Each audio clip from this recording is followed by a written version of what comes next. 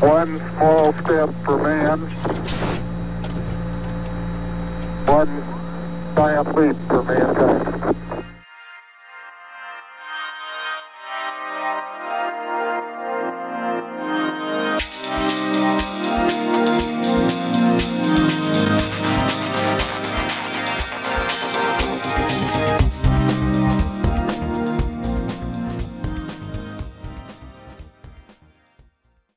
Is the mini for today.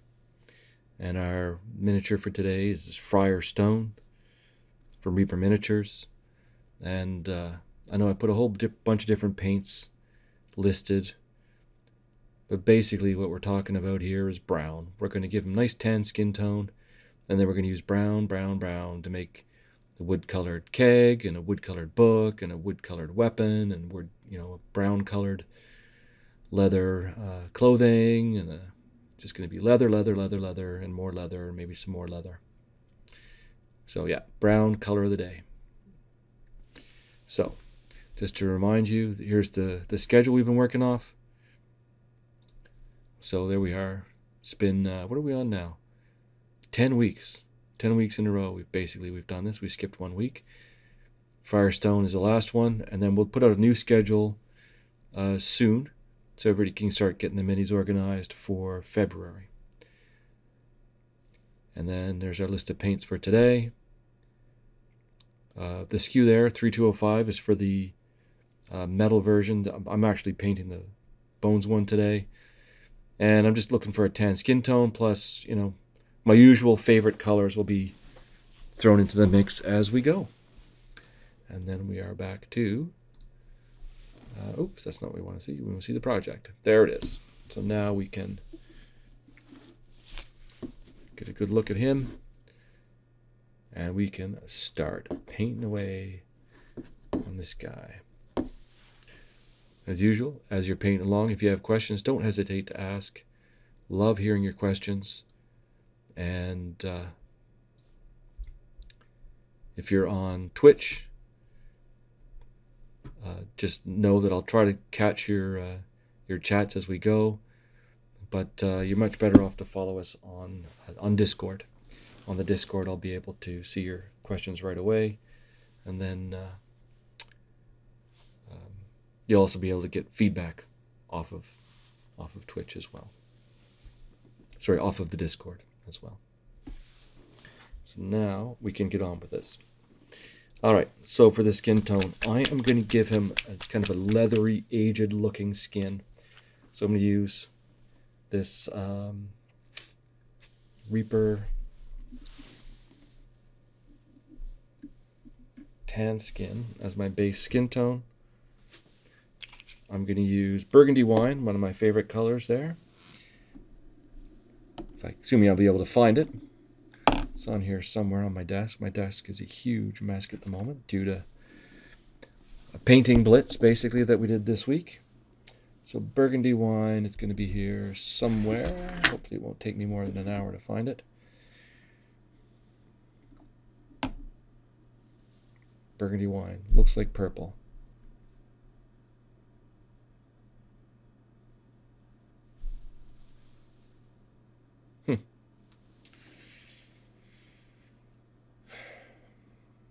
All right, so for now, I'm going to add, I'm going to use golden blonde as my highlight color.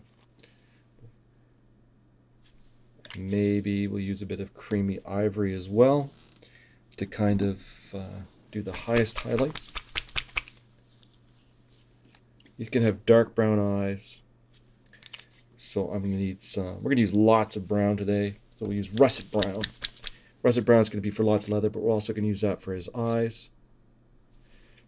And burgundy wine is going to show up now because I've, there it is. Hidden right in front of me on the desk. There's our burgundy wine. And that's enough for the skin tone. For the main overall leather robe, we're going to use that leather color. So that's going to be um, russet brown and then some harvest brown an orange brown. These colors are quite good for doing leather because they they layer really well. It seems like the pigment that's in these lighter browns are um, they they glaze well. So not glaze, but layer well. So they can be quite thin and they're easy to work with, and they uh, I, I think they look quite good. We're going to need some other colors to mix to do a variety of different um, leathery and whatever kind of colors. So we're going to use some snow shadow and we're going to need some stone gray. We'll use this probably for his hair as well as for a few other things. And then I'm just going to have to play it by ear as we go forward. I'm going to use green ochre as the main color for the wood. Okay, that'll work. And let's throw some dragon black on there to play with. There's our dragon black. I'm going to add a little bit of some white. So let's use our solid white. Okay, solid white, don't hide from me. You would think it would be easy to see being right in front of me on the table. That's not how this goes. Oh, it's at the airbrush, that's why.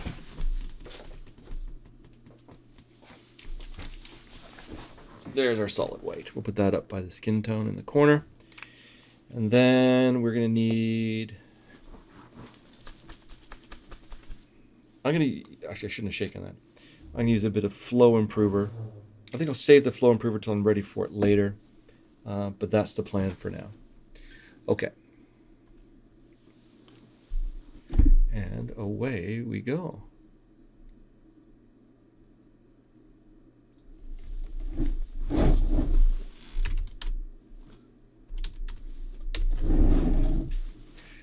Okay. So uh, for the skin tone, I'm going to start with my base coat. is going to be fairly dark skin tone. I'm going to use the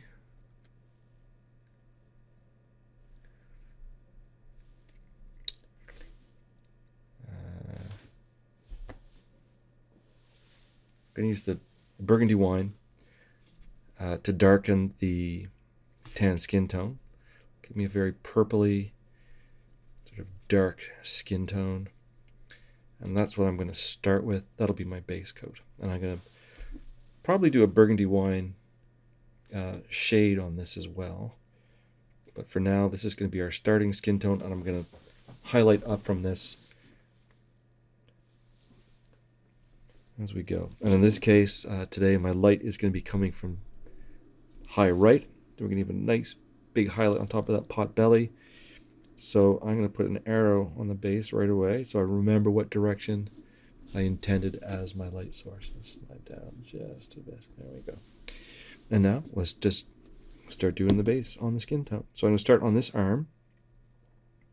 So we have to remember as we go through this that one of his feet is bare and one of them has a shoe. And we need to paint his arms, his hands, his foot, and of course uh, his face and his head.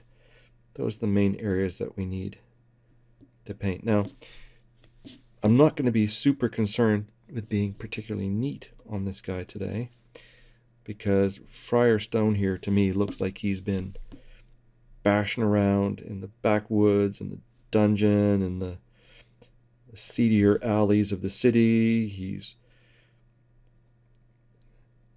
maybe he's going where he needs to go to find the people who need his help. But I, I have a suspicion that this Friar Stone fella uh, might actually be one of the people who need some assistance. So he's going to get painted up like he's worse for wear. In fact, I can see already that somehow this sculpt is missing part of his forearm. Probably means that I cut it off by mistake, but that's all good.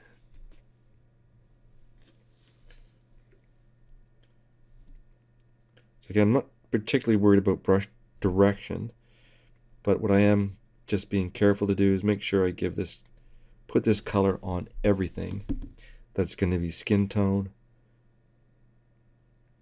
so that uh, as we build up the colors, build up the highlights towards the light source, we don't suddenly discover that we missed a piece, which is what I usually do and then uh, have to kind of backtrack and do some extra highlighting and whatever as we go. Now this particular bones figure, I tried to get rid of all the mold lines, but it's got a lot of mold lines. Um, you know, some casts are better than others. And I had a really nice one set aside for this video, but I think it got given to somebody. So the one I'm working with today is one that I just prepped at the last minute this morning because I couldn't, I can't find the one that I had already prepared. So this guy's a little bit rougher than I would have preferred, but he's still coming along. I think being rough around the edges is entirely appropriate for Friar Stone here. He's uh, that grin he's got on his face. I suspect he might be like a retired barbarian brawler or something like that. He was just pretending to be a, a cleric. Or maybe he's a monk who for decades and decades and decades worked in the brewery at the abbey. So he's uh, kind of a fried friar. Sorry. So we're going to paint his foot as well with the skin tone. Make sure we get that foot.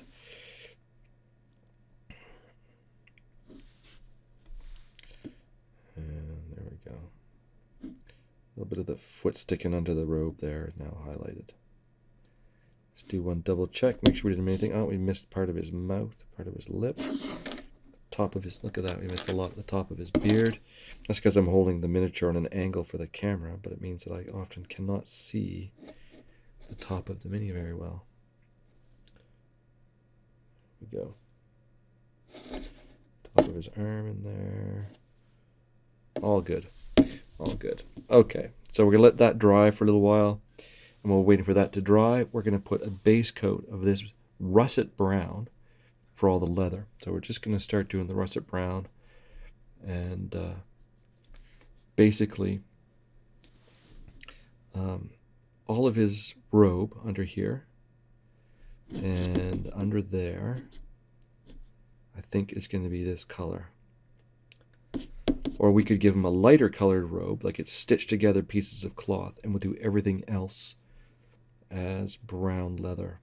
I think that's what we're going to do. We're going to paint everything else leather, but we're going to leave his shirt and we'll make it like uh, a dirty, stained looking sort of a cleric's um, garment.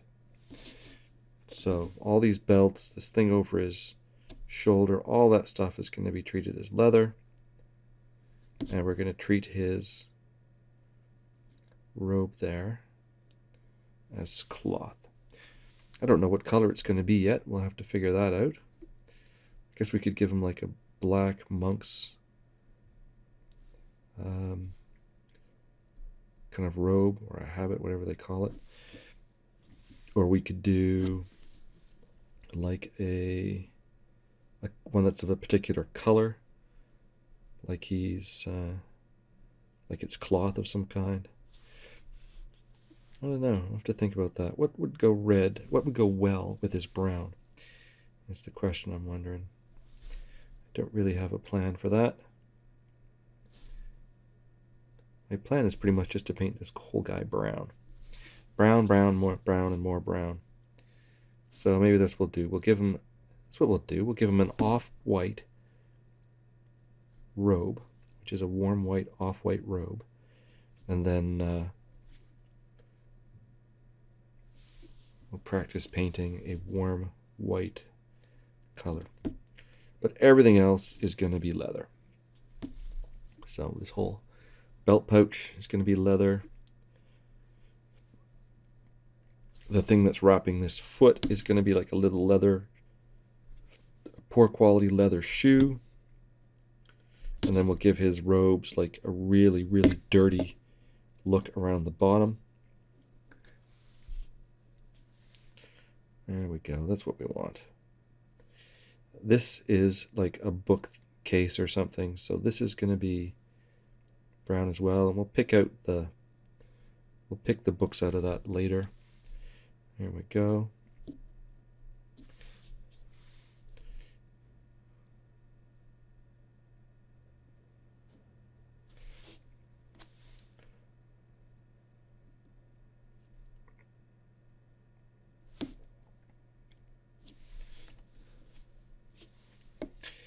right. So I'm just going to keep base coating all this stuff that's going to be this leathery brown color. Making sure we get all the belts. His kind of travel hood that he's got there.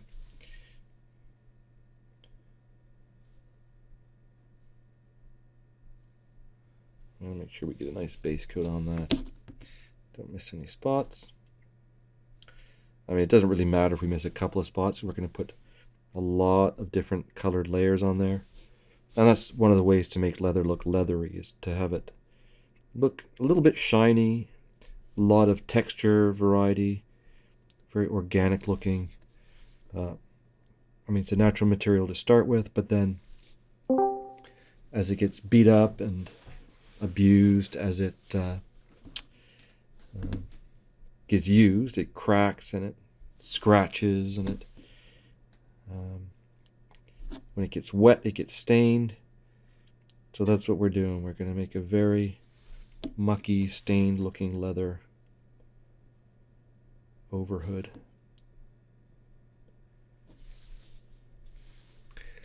And I'm pretty sure anybody who's walking around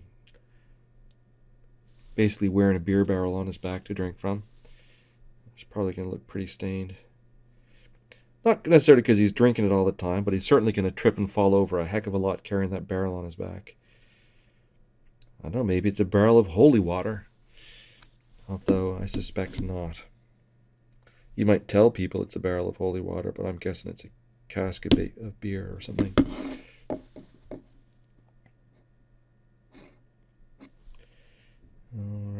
Love this russet brown as a good starter color for for leather.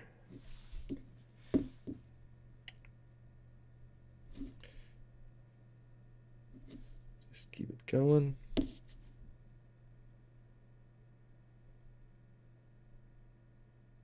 There we go. Now, have we got all the leather done is the question. Looking pretty good. Done over the shoulder. We've got a lot of these little spots done. Got the little book carrying cases done. We did his shoe.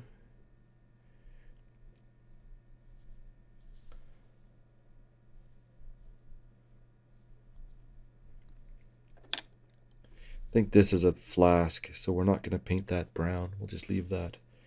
Um, maybe that's a vial of holy water. We'll paint that maybe as... Uh, I'll maybe leave that up to the people who decide what they want to do with that when they paint the details. It can be glass bottle, it can be a metal flask, it can be whatever they want. Okay, so the next thing I'm going to do is paint all the wood and all the rope. And that's what this green ochre that we put on the palette's going to be for. Um, this is going to be kind of a warm, natural, kind of organic looking color underneath all the rope and the wood and that sort of stuff. And uh, should look all right. So I'm going to start by putting this on the pages of the books that are just visible through the side of that case. Do the same thing on the back. The books are just visible in there. Paint this on there. But then with that done, now I'm looking for ropes. So we'll start on the front. There's a rope that you can see just up underneath his arm. Okay, and then that one goes along his belly. I'm going to paint all of that rope this color. What else could you use? You could use the leather brown. You could use, um, you could just kind of mix your own light brown color. Rope can be a lot of different colors. In this case, I'm making kind of an assumption that it's a piece of like hemp rope. Now, the one that goes over his shoulder, we'd look for that. It goes under his forearm and underneath his hand. And we'll turn him around we can see that it goes from the top of his hand back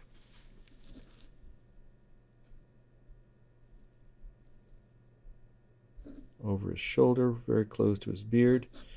Remember I said when we started we're going to make lots of mistakes because this is going to be pretty he's going to be messy, so the painting can be a little bit messy too. So it's okay if you get a little bit of a stain on different uh, different areas. When we go to paint the leather, that's just going to enhance the overall look. Now we've got the bands around the barrel are going to be metal.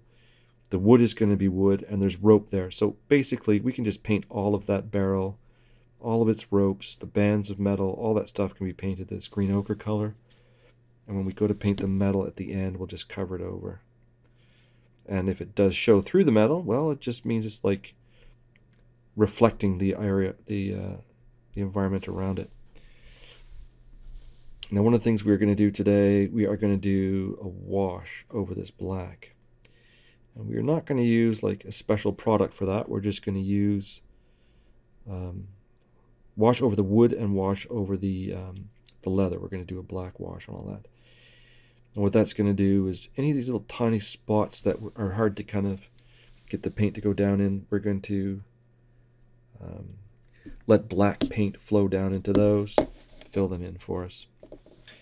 That will take a little bit of time to dry, so that's why we're going to do all of our base coats that I intend the black to go over first.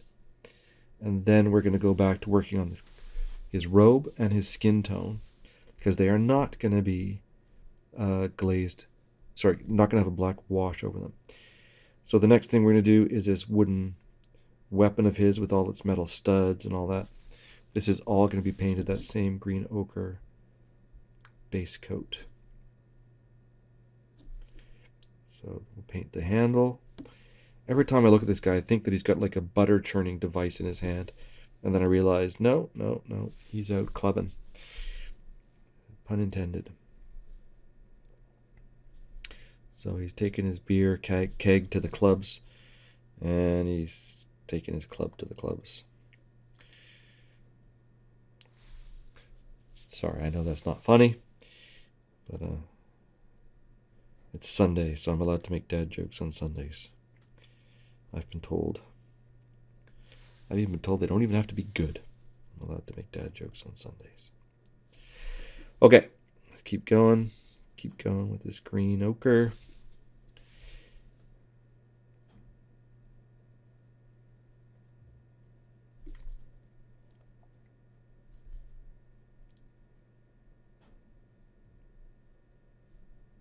Paint in. Okay, now we're going to to give this a minute to dry before we start slapping uh, a black wash over it. But in the meantime, we will do a base coat on the cloth. And for the cloth, I'm going to use leather brown as my first layer of color for the cloth robes. Now, it's leather brown hiding from me on here somewhere. There it is right in front of me. Okay, leather brown. Leather brown is a great color from Reaper. I use it for doing light colored cloth all the time. And you say it's leather brown. Why is he using it for light colored cloth? I think it just gives a nice, um, gritty, warm undertone to uh, to light cloth colors when you use it as your base coat. So, or as a shadow color. I'm gonna use it as the base coat in this case. So for most things we're doing today, we're gonna start with a dark, dark color, and we're gonna build up different colors and lighter colors on top to create our highlights. As usual, I am not thinning with water. I'm just smoothing out the paint with the brush on the palette, loading up the brush by rolling it in the paint, keeping it basically a nice point on there. And then we're going to just keep going. All right, so I'm going to paint all of his robe this color. I'm going to call it a robe, hopefully from now on I'll remember. And then, uh, yes, this is the plan. Under the arm. Now, I did say we don't have to be super careful. And we don't. I mean, mistakes are not going to be a problem at this stage. But uh, why be messy if we don't have to? I am not going to be worried about doing a second coat of this color, even if it's patchy, because by the time I'm done adding all the different highlights and all the glazing we're going to do on it, um, those imperfections like this dark brown, which is showing through it right here. All of those are just going to look like various stains and things that I want it to have there on his uh, on his clothing. Not to mention we're about to put a black wash over all of this. You know, maybe I won't use black. Maybe I'll use a very dark brown. I haven't used my favorite brown in a while, walnut brown, which is so dark it's almost black. Maybe we'll do a wash of walnut brown. Of course, I won't remember to add that to the list of paints for the day, but that's what we're going to do. Is we're going to use walnut brown. You can make something that looks a bit like walnut brown by using uh, dragon black and just adding a tiny little bit of um, a lighter brown into it. It doesn't really look the same, but it, it'll be a very dark brown. Brown liner from Reaper is another great color for doing this. Um, brown liner is a lovely color. Not one of the ones that I'm prone to using a lot. I mean, a lot of people swear by it, think it's the best color ever. And it's a very useful color, but it's not one that I normally gravitate to. I quite like the walnut brown. But uh, I don't even think I've even got brown liner on the table. Let's see.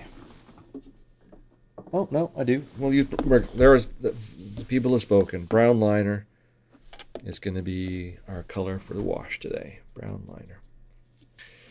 All right, going to keep going on this robe.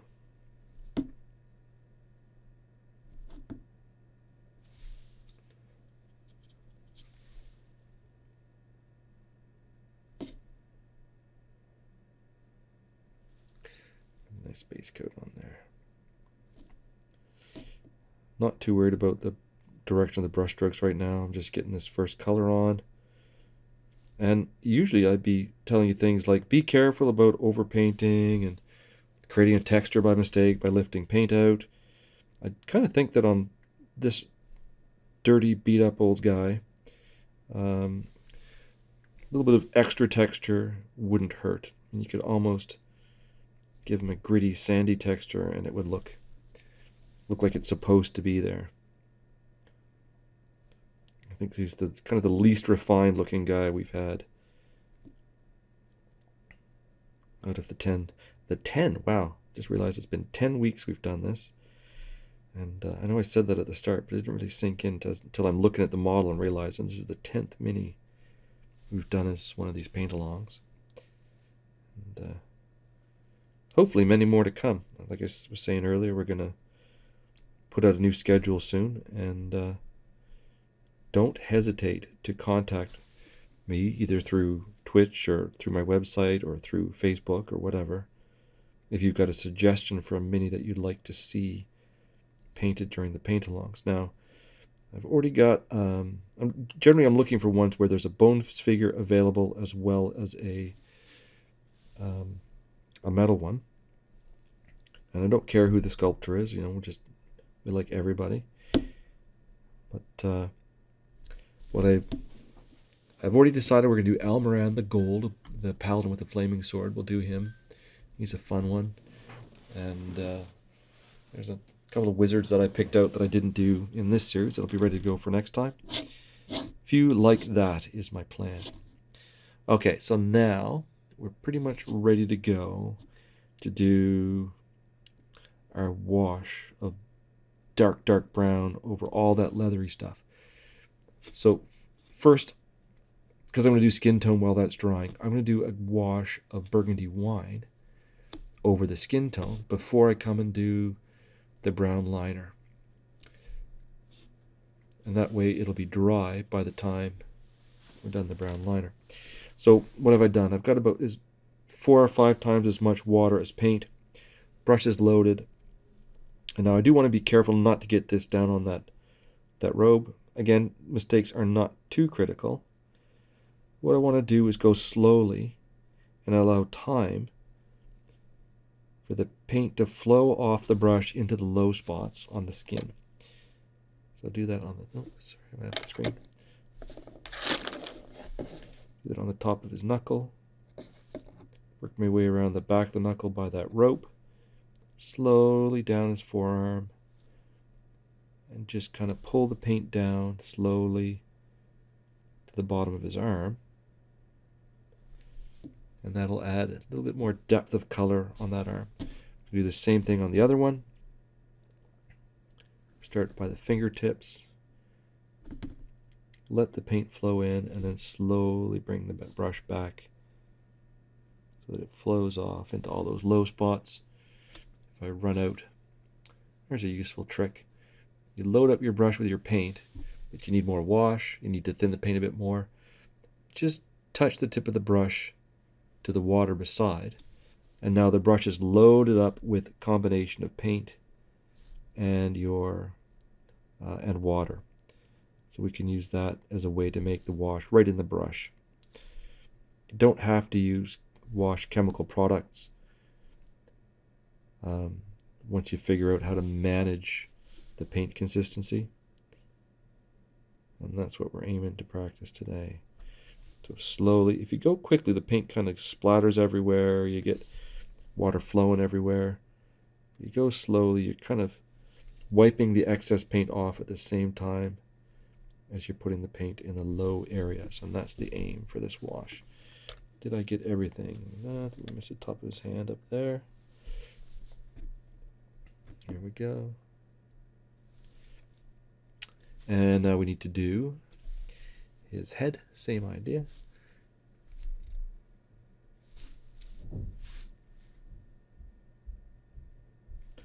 Want that to go into the eye sockets, down over his beard, all the way to the bottom of the beard.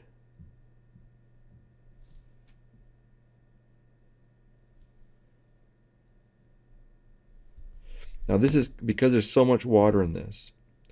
As it dries, it's going to make lots of nasty coffee stain effects. But I don't really care because I'm going to go back over and highlight. I haven't done any highlighting yet.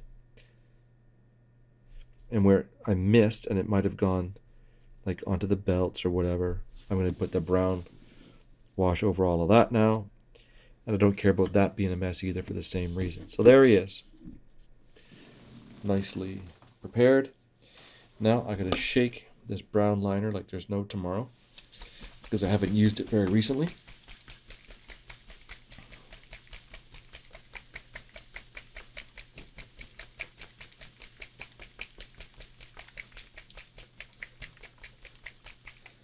And then we'll see what it looks like. See if paint even comes out. If it's too, um, what's the word I'm looking for? Dried up.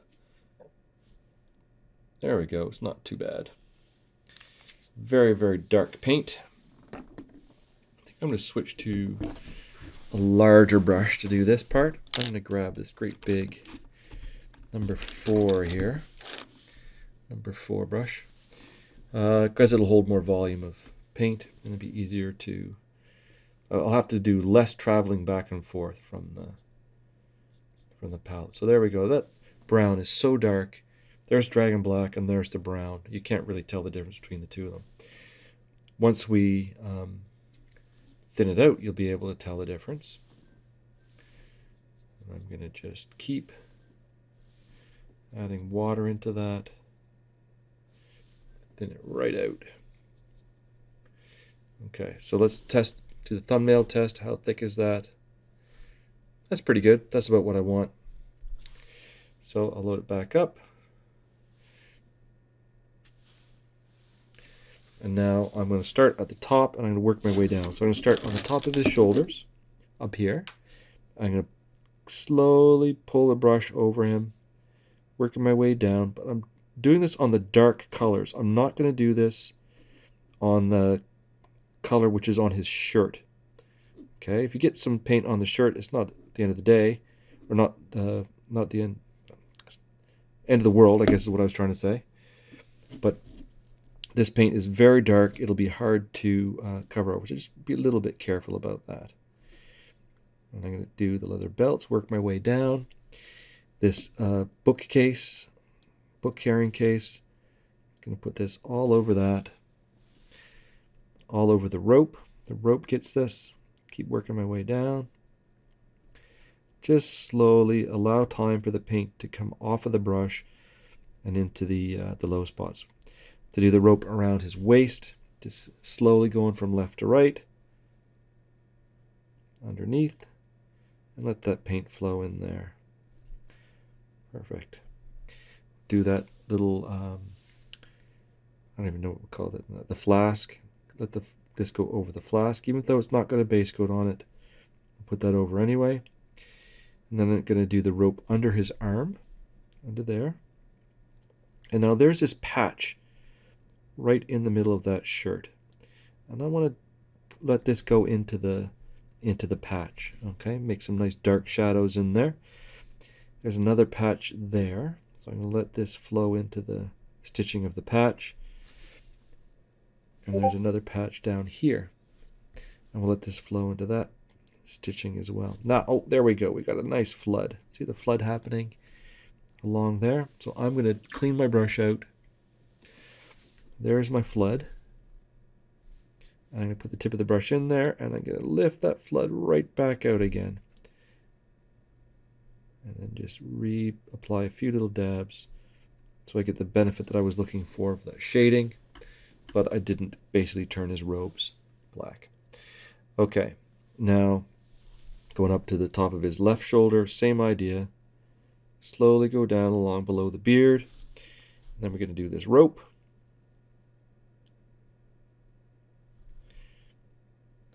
Both sides of the rope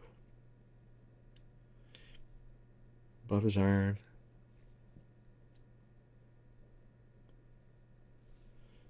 The paint flow off. And then we're going to work our way down to this part of the robe, this leather bag. Do both sides of that leather bag at the same time. And then we don't want to forget this shoe down here. This shoe gets this nice dark color. A wash of that. Just let it flow in there. And then there's another patch right there. So we'll fill in that patch with this color as well.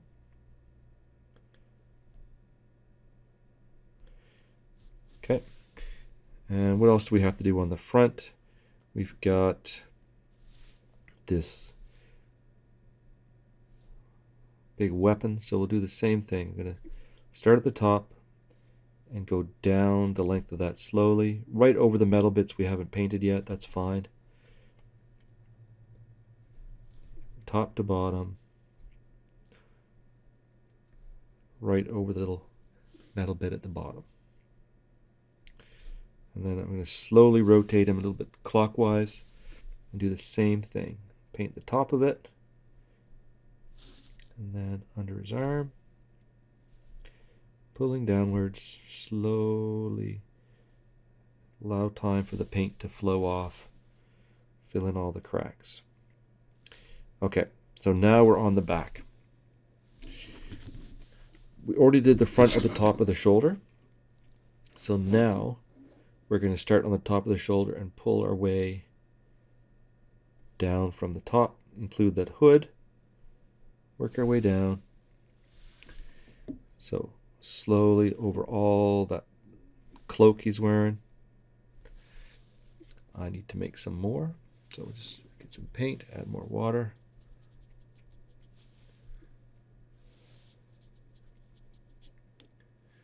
As before load up the brush, make it a little bit extra wet. Make some water in it, and then I keep going down across. So the little bookcase, straps down the back belt pouches. Both sides of those belt pouches. There's another one back here that we haven't done yet. Okay. I feel like I didn't get this zone in here off the shoulder, so I'm going to do that again. Pull the brush down across that.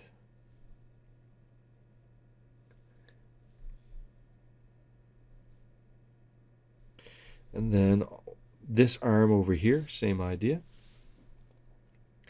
Start at the top of the shoulder.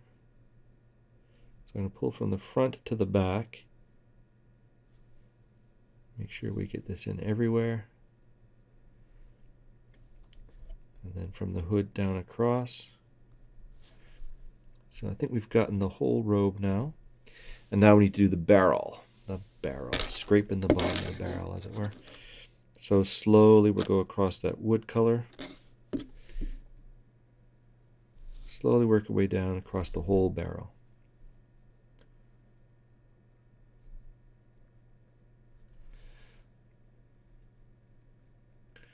And as I said before, we're going to get lovely, horrible coffee stains out of this, which is what I want. No, it's not that I want the coffee stains. It's that the coffee stains are going to be covered up in the next step. And I was talking to some guys here in the studio today about slap chop speed painting. And that's all valid ways to paint. But what I'm doing here is not speed painting. We're practicing kind of fundamental um, layering painting. So our aim is not to go fast, our aim is to learn to do the skills. So if we look at the front part of the cloak, there's all these holes in there. So I'm going to put this tip of this brush into each of those to make sure that the damage looks a little bit darker. And same thing on the back, there's quite a lot of these little spots. Did we do his boot? I don't remember if we did his boot yet or not. Doesn't matter, we'll do the boot again. It's not going to hurt it.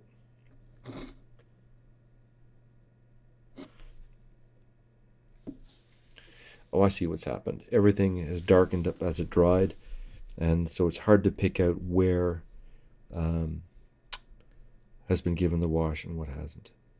And that's okay. That just means our wash is drying really dark. I like it. Okay, there we go. All those little bits of robe are getting a little bit of extra dark color in them. And I think what I'm going to do is I'm going to do like a line all the way around the bottom of the robe.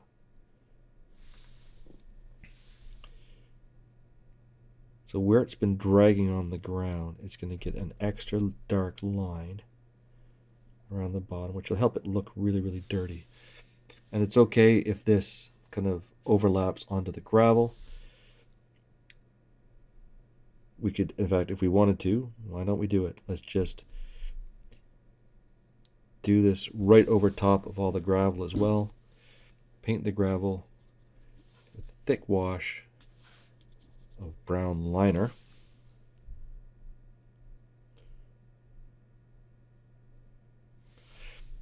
And that'll help us get the base painted. So, thick wash, brown liner, or you could say we're painting it with a very thin coat of brown liner paint as opposed to putting a wash over it. But we are doing a wash. We're, we've got very thin paint. We're letting it go basically wherever it wants to. There we go. And done. And look at those lovely coffee stains that we got on his belly. Awesome. Okay, so we're to let that dry. Now, really make sure your brush is clean. That brown liner is a very pervasive dark paint it is to get everywhere. It'll flow to the brush, even when you think the brush is clean. So just go a couple of extra effort to clean it out so we don't have to fight with it later. Okay, so we're to let all that dry and our the burgundy wine that we put over the skin is now dry.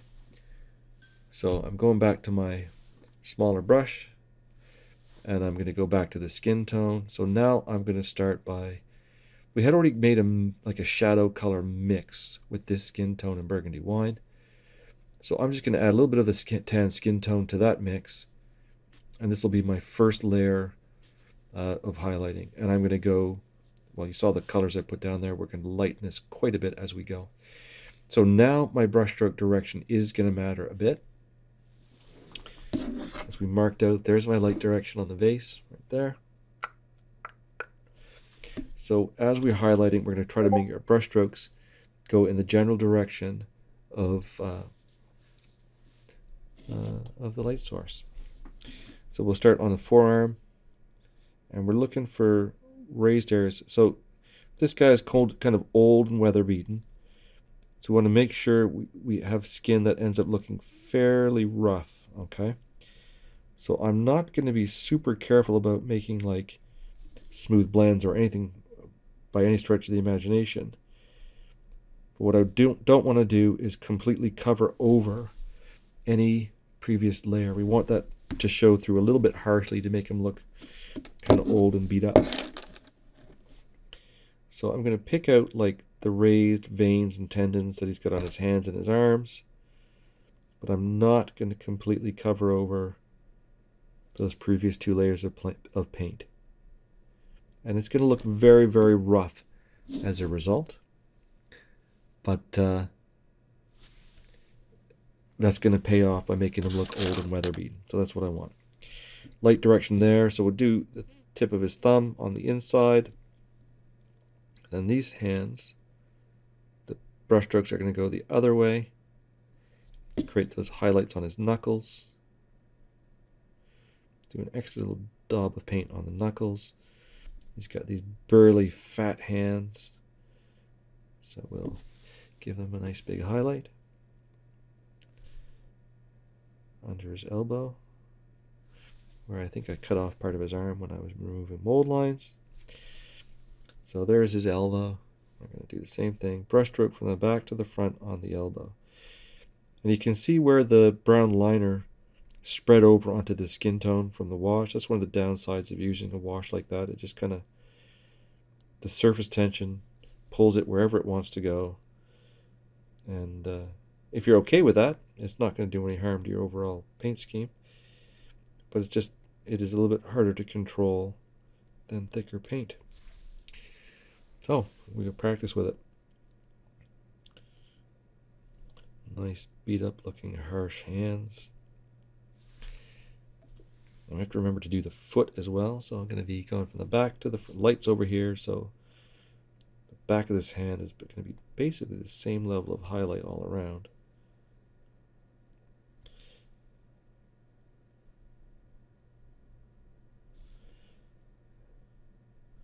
I'm not sure if this is really like a noon lighting example, but uh, we'll decide that later. Okay, so now we're going to do his foot. Get those toes down there. Uh, mind the toes are a little bit buried in the gravel. I'm assuming that's okay for a guy who's carrying a giant barrel on his back. There we go. We got those toes. And the side of his foot just shows there and there. Just a little bit. There we go. Okay. And now we're going to do his uh, face. So, light this direction means this side of the nose is going to be brighter. This side is going to be darker. So we'll try to keep our brush strokes going from the dark towards the light. And I'm just going to carefully pick out uh, the details that have been sculpted. This is sculpted by uh, Tre Manor, this one. And he does all kinds of Vikings and stuff like that. I really like them. But, uh, just kind of pick out the details without being without joining them together. We don't want them to look smooth. We want them to look rough. So we're not really joining any details together. So this side of his head is the shadow side.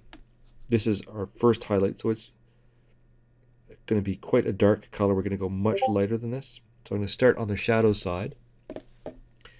Just going to go, just a little roll of fat on the back of his neck. We're not going to completely cover over the burgundy wine and uh, tan skin mix, but we are going to make, do need that highlight to go fairly far down.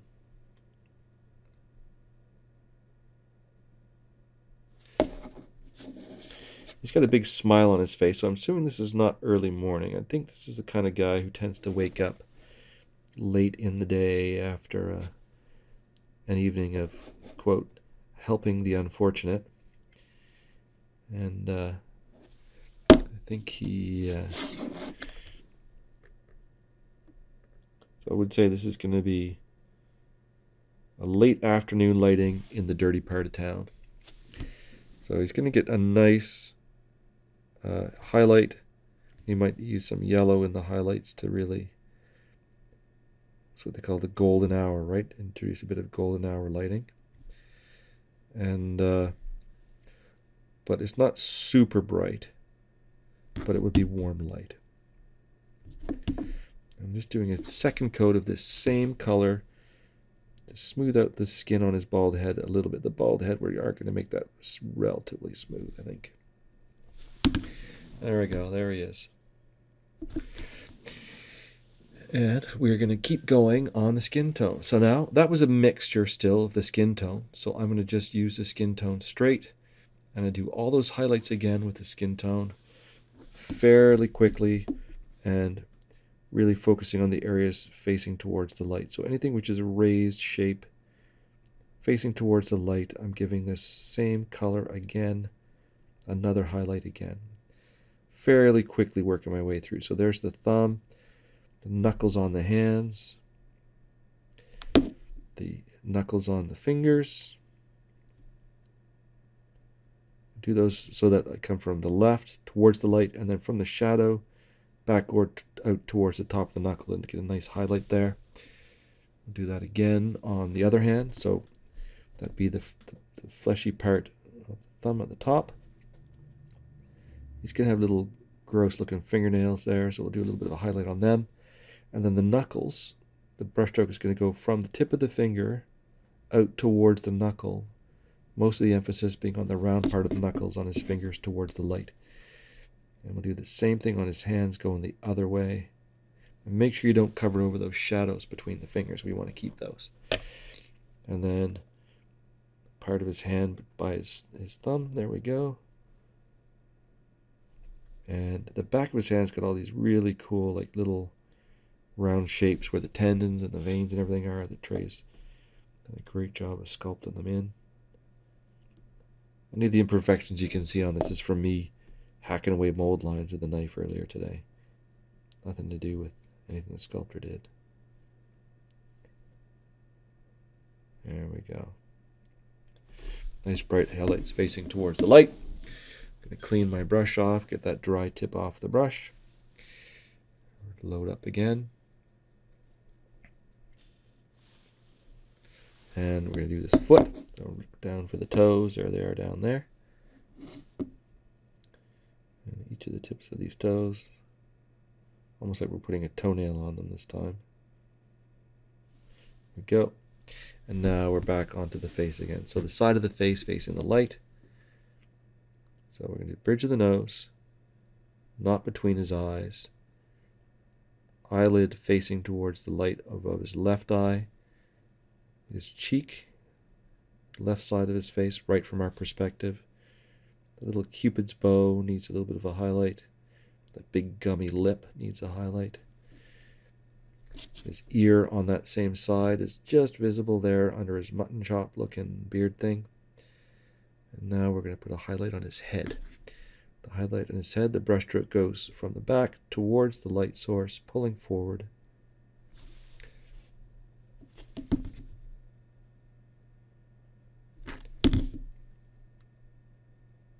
still quite a dark color, so we're still going to go fairly far past the top of his head. And a little bit of a highlight on that roll of neck fat. There we go, like that. And the ear just showing under his beard gets a little highlight. And then what are we looking at now? We've got the side of his face over here Uh, that knot in his cheek needs a highlight. The face always needs to be a little bit lighter than the the surroundings because everybody's kind of going to look at the face. We want that to be visible. The eyelid.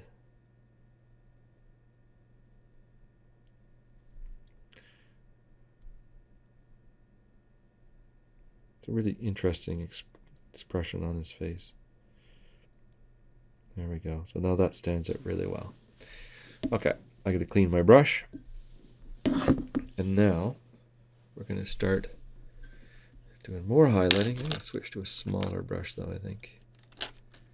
Oh, that is a size zero that I was using. What have I got that's smaller? Use this Rosemary & Co. again. Seems to be my favorite brush these days. Okay. So no, I'm going to go back to that Da Vinci. Sorry for that. I'm going to keep working with that Da Vinci. All right, so now I'm going to add a little bit of, this is Reaper Golden Blonde, into that skin tone. And I like that it's a bit yellowy. Um, it's a lighter color. It's going to increase our values as we go. But uh, it's going to make him look leathery and old as it dries. So that's why we're adding skin, uh, the golden blonde in there. Okay, so now we're to keep going. We'll go back to everything we've done before. Too many brushes. There we go. So on the hand, we're really only focused on the upper areas and raised shape. So that's those tendons on his arm, tendons on the back of his hand, thumb by the rope, tops of those knuckles. We don't need to do the knuckle on the bottom, we'll leave that one. Tops of those top three fingers. And then we'll do all the fingers on the side towards the light. Why? I don't know. I just feel like it. The thumb, fingernails. Really give a nice strong highlight on those knuckles up there by the top of this, his club.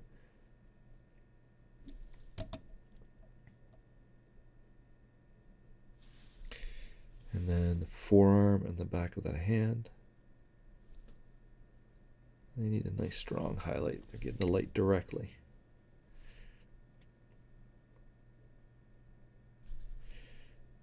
Go. And I'm going to turn them upside down to make it easier for me to do my brush strokes coming forward.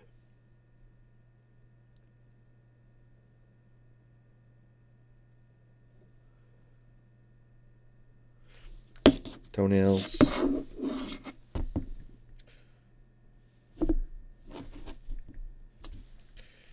Toes again. All right, and now we're going to do the face. So on the face, we need tip of his nose, nice big highlight, that little broken bump on his nose, a couple little bits in between his brows, eyelid on the side facing the light, nice round highlight on the cheek facing the light. That nostril gets its own highlight on the side facing the light. A little bit of a tendon that goes down his face into his beard. Cupid's bow, both sides, side of his lip. The orbit side of his eye needs a nice strong highlight. And then his ear in there. The top of his ear highlight. Tip of the ear on the other side, even though it's not getting the light directly, we want it to be visible. Top of his cheek on the not lit side, up by the corner of his eye. We'll bring that up. The eyelid. And now we're putting highlights across the top of his head. Got a little bit of a wrinkled brow there showing now, so we'll just kind of break it up into three sections like that. And then we're going to be painting by pulling forward, creating a round highlight on the top of his head up here.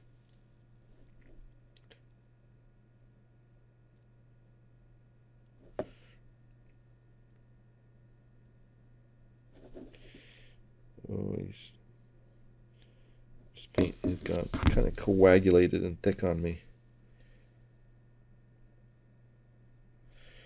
So he's going to be rough looking, very rough. Let's clean my brush out. A little bit more water in the brush. And I'm going to add Golden Blonde again. I'm going to do it again. Mostly, I think this is going to be not, yeah, about half tan skin, half golden blonde, this one. So it's going to show up on the other ones, but it's not going to be super bright. And then after that, we'll do a creamy ivory highlight. That's probably going to be enough for the skin. So small highlights just on the outside of round shapes on his hands. Just where the light would really catch them. Knuckles on the fingers. His thumb is hitting getting the light directly. Same with these hands. Or the uh, the left hand on the club. Knuckles, same deal. This forearm here is getting the light directly, as well as the back of that hand. top of the thumb, that muscle in his forearm.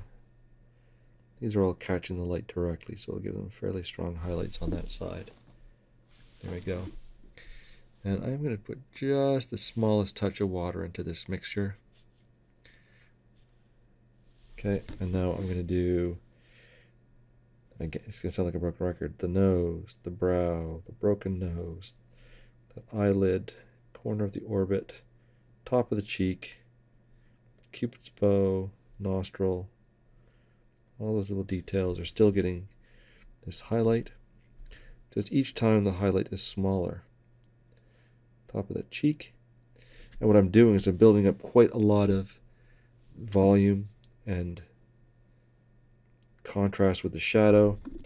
So his craggy looking features are going to kind of, um, but they're going to stand out. They'll be really visible. Top of the head.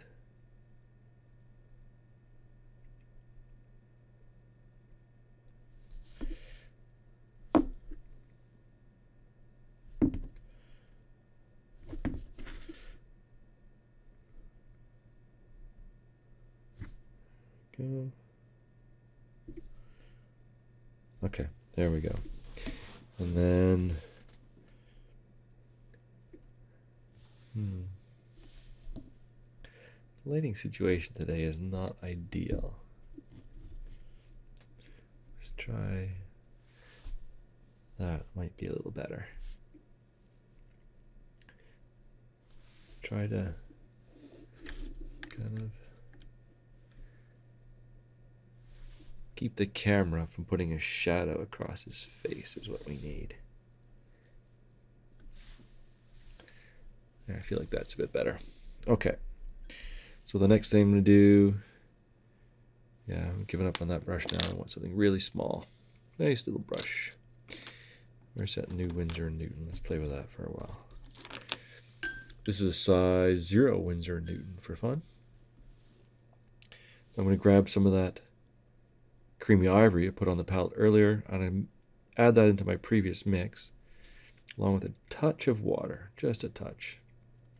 Make it flow a little bit easier. Load up my brush. Make a nice point on it.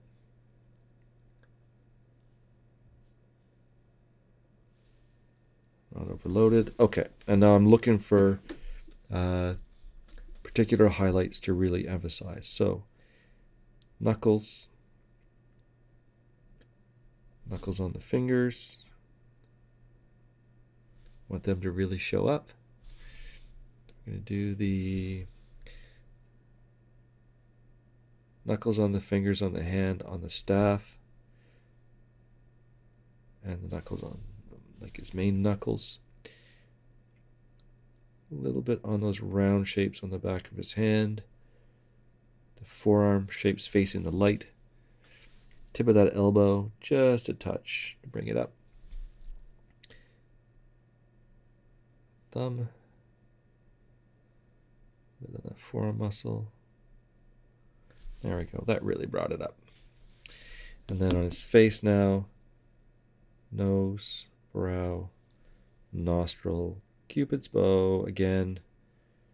That craggy looking cheek, eyelid, orbit, ear. We're kind of faking an ear. The ear is not cast very well on this particular model. And then top of the, oops, oh, look at that. Accidentally got orange all over the brush. Got to be careful of that. I'm not very good at uh, I've noticed I've done that quite a lot lately. It's because my holding my brush on a low angle in the palette. I tend to do that. I need to be careful of that. Okay, there we go. Ready to go. And so I'm going to put a little highlight on the brow on the opposite side of his head. A little bit between his eyebrows, and then a nice round highlight top of his head facing the light.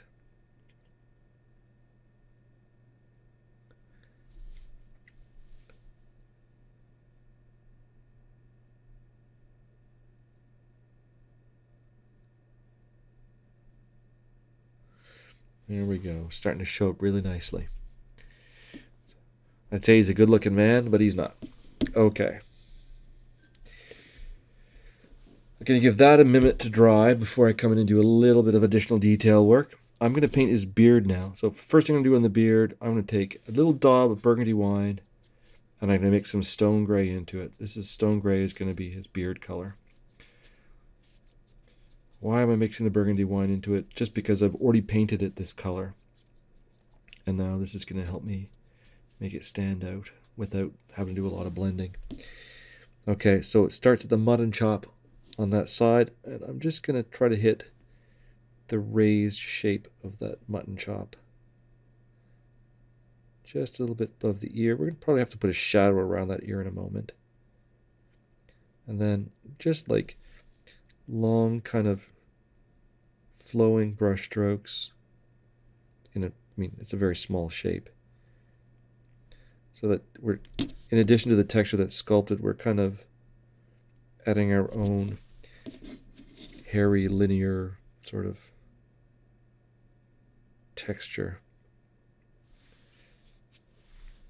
And we're going to do this about, I don't know, three or four colors worth of this to bring this highlight up.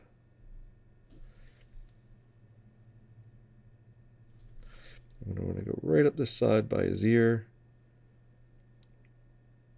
I think we definitely need to add some shadows behind his ears. So I'm going to use straight burgundy wine for this. Get a little bit of that on my brush. And I am going to put some shadows behind his ears so his ears stand out better. So there's his left, uh, his right ear. I start fairly high up. And my brushstroke is going to go from the top of his ear down into the shadow. If I wanted to, I could draw the shadow on the inside of his ear as well. Make a funny little shape like his ear's got a,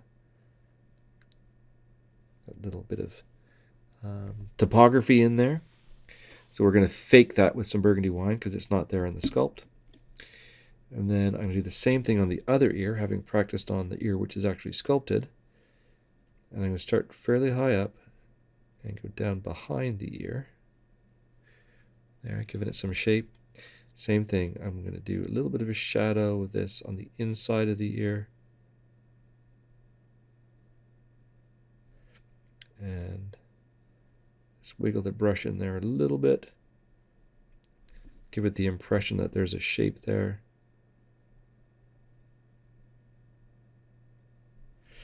When people ask you, why do you spend so much money on Winsor and Newton brushes and all those brushes with a fine tip? That's why.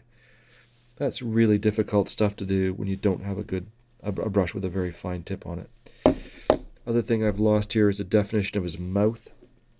So I'm going to start on the left side of his mouth and I'm going to basically paint his lower lip with his huge gaping mouth uh, from the top to the bottom.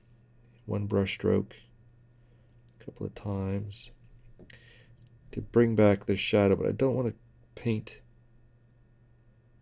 the upper lip too much. We want him to have that kind of dull expression.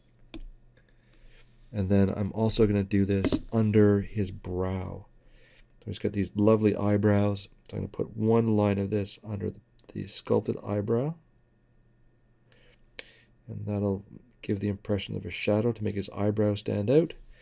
I'll do that on the other side, under the other eyebrow, which has got a little bit of a raised, kind of quizzical look. There we go. Now his face is starting to look better.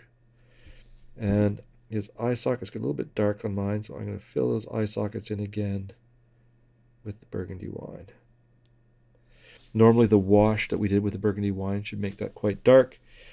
Didn't in this particular case, that's just the way that the eyes were sculpted. So I'm repainting the burgundy wine in the eye sockets manually, not using the wash to do it. Now this is where if you want to give his face like extra cragginess, you could find some of those features and paint a shadowy line on them, make them stand out more. Like he's got these little laugh line sort of things going on. We could put a little line along there. Make that stand out a bit. Side of his nose, we can make the nostril stand out better. Here we go. We can do that on both sides. And we could give some nice imperfections to his face. Let's do that. I'll do some little crow's feet up in the corner of his eyes. Little crow's feet.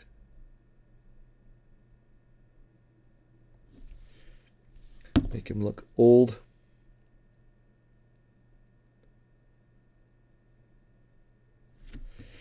And if we want to, we could also even take that um, burgundy wine, a little bit of a glaze of the burgundy wine. So very thin paint. And I'm going to run it like bags under his eyes. Make him look really, really tired and hungover. There's his bags under his eyes. A little bit of a glaze of the burgundy wine to make him look even more haggard than he did when we started. So yeah, he's been out he's been out talking to the people of the town. I have a feeling this guy's like a D&D character who uh, is like a prophet of the god of beer or something. Let's put some other little silliness for details on his face.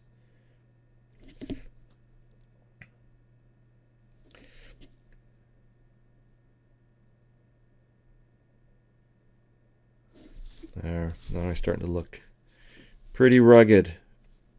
I like it. That's what I was looking for. How far? We're about halfway through our time. Does anybody have any questions? Just check the Twitch stream. Check everybody.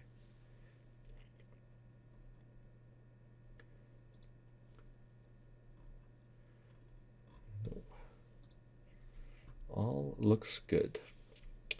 Okay. So we'll just carry on. How do they say it? Carry on as if we were normal. Okay. And now what I'm going to do is I'm going to go to that creamy ivory and use straight creamy ivory. And I'm going to re-emphasize all the highlights on his face. Now, if this was a skin tone that I wanted to be really soft, I would glaze now. But I don't want it to look soft. I want it to look harsh. So I'm going to now particularly on his face. I'm going to just do the same thing I was just doing, messing around with the uh, burgundy wine, but I'm going to do it with the um, creamy ivory. And we're going to do that to really bring out some of these shapes. So tip of his nose, a broken nose, space between. Uh, we're going to highlight those crow's feet. Put a little bit of a highlight on his cheek by the crow's feet. This will really age them up quick. Highlight on the nostril.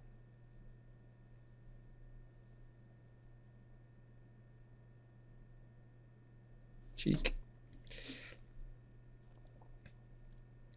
Top of that ear that we defined.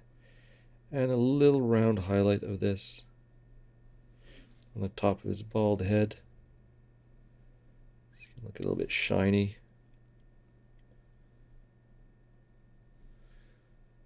Also a little bit aged and not very nice. There we go. And I'm going to make his eyebrows a little bit bushy. There we go. Get a nice faceful expression there. And that expression is, uh, too much beer. Okay. Um, I'm going to use Snow Shadow to give him um, the whites of his eyes, as it were. And I'm, usually I do a two-step eye, but today I feel like doing a little bit more of a like a, a more complete eye. So I'm just going to paint the complete whites of his eyes with this blue color. And then I'm going to come back afterwards and we'll paint the irises at the end.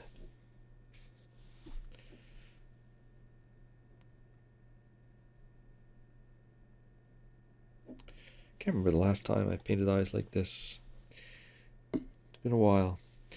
Anyway, so we're going to go, I'm going to use the brown liner for his eyes. How's that for a crazy plan? Gonna mix it up a little bit, get it loaded up on this brush. Now you're gonna be like, Geoff, what are you doing? You've just finished painting the face and now you're gonna dab dark brown all over it and make a mess. Probably true. That's just the way it goes. I'm not fussed about it. So I'm gonna go in with this lovely Winsor Newton brush and I'm gonna put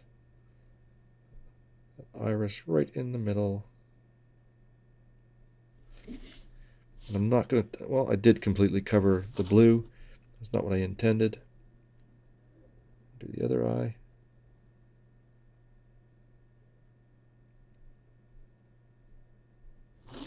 So now I need to come back and return some of the iris or the uh, the sclera that I painted over.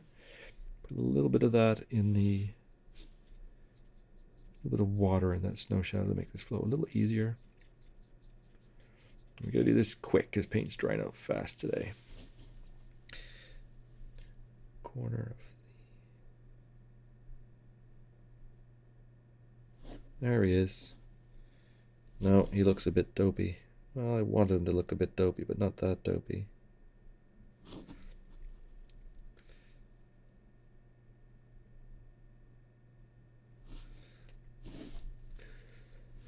it's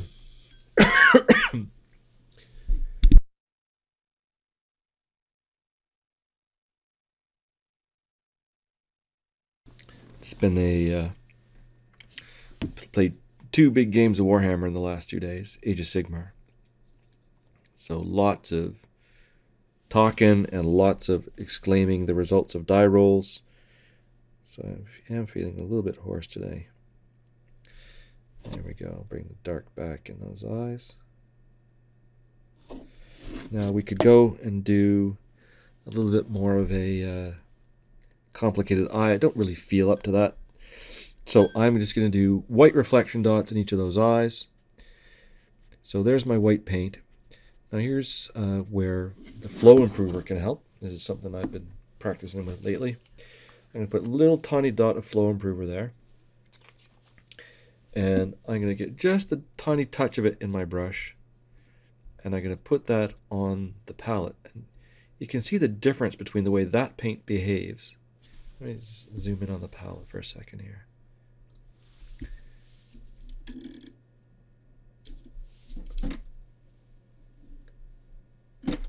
there we go so this is the paint with the flow improver and you can see how fast it moves on the palette versus the paint with no flow improver, which barely moves at all on the palette. So there's two things happening. One is that the surface tension is being changed by the flow improver, and the other one is that it dries more slowly. So what's that going to do for us? When we go and put this on the Mini, to do those tiny little white reflection dots, they're going to pull in on themselves, and they're going to take longer to dry. So we're going to be able to make smaller white dots and the tip of our brush is not going to dry out nearly as fast, giving us more time to get lined up and make that perfect white dot. So I'll do a test one. Oh, go back to the proper camera view. There's a circus music. So I'll do a practice one on my hand. Is my paint still good? Nope, my paint's too dry. So clean that out. Clean that dry tip off the brush get everything lined up again. Reload with our white paint with a little bit of flow improver. Not too much. Do a test dot. Are we going to get white dots? Yes, we are. And now I'm going to do reflection dots in those eyes. Just a little tiny dot in the corner of each eye.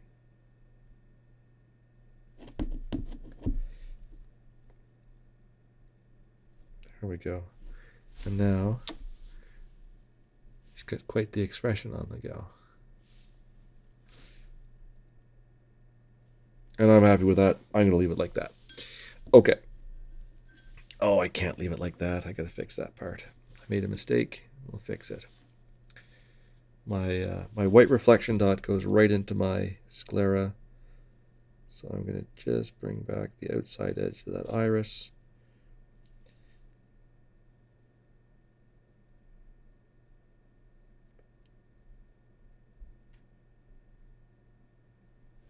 There we go. That's I can okay. Stop messing around, Geoff. All right, so now we're gonna go with the stone gray. Last time we used stone gray, we mixed in uh, burgundy wine. We're not doing that this time, and we're gonna re-highlight all of this hair and the beard with this straight stone gray. Now I want to keep all this shadow underneath. I don't want to cover that over. But again, strands We're doing brush strokes that go from almost the very top of the beard to the bottom, but we're not completely covering over the shadow at the bottom, but we're creating a highlight that's kind of centered like that across the beard, okay? So that the beard has a nice round looking volume.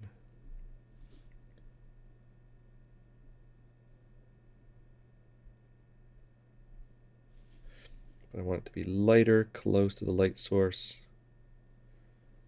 Get close to the light source, I'm making that highlight bigger. There we go. Now to add creamy ivory to the stone gray, a little tiny bit of water. Keep everything flowing. Tiny bit of water. I mean tiny, like just a touch. Just to keep the paint from drying out. And we'll do it all again, but this time smaller smaller line of light across the beard. And this does not need to be neat and perfect because this guy, I'm guaranteeing you, spills beer down his chin every time he drinks a gulp. And he probably has half of his last lunch in his beard at the same time. Now we're going to add quite a bit of creamy ivory.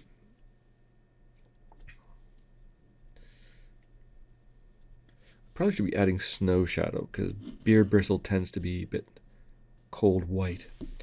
It's too late. Do the same thing with the creamy ivory, slightly smaller lines, shorter lines. And they don't have to be quite so comprehensive, like we don't need to connect them all together. I mean, connect them left to right, right? Not from top to bottom. So his beard starts to look patchy gray as we work our way along. There we go. I'm happy with that.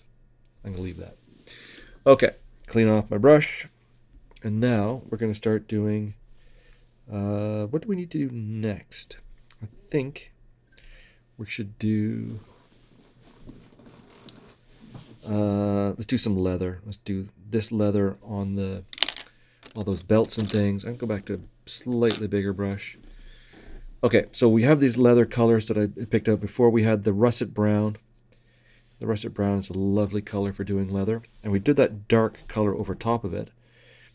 Uh, the brown liner. So I'm going to make a 50-50 mix of russet brown and orangey brown or harvest brown. So this is definitely going to be a lighter color and with a brighter orangey tone than the russet brown that had the black put over it. And now I'm going to go back and I'm just going to highlight and pick out the shapes of those leather belts. But I'm not completely covering over the dark color that was there. In fact, I really do not want to do that. But I don't have to make perfectly smooth highlights either, because the leather is not going to be perfectly smooth. So I'm just kind of wiggling the brush, doodling a little bit. Um, and just keeping in mind where my light direction is, which is that that way and making little highlights of this lighter brown on the leather. And they can be patchy. They don't have to be perfect for that to look like leather. Okay, as that's drying, we're going to go and do the same thing on this bookcase. Now this bookcase looks like it has like a, a braided leather. So we're just going to do lines to match that pattern. We'll do that along the sides there. Same thing on the other side. You know, maybe it's made of wicker. No, it's, it's definitely braided leather. So we're going to do lines one way. We'll do lines the other way.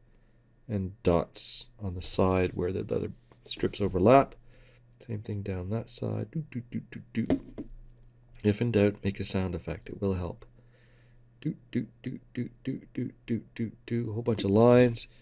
Same thing on the top, whole bunch of line, dook, dook, dook.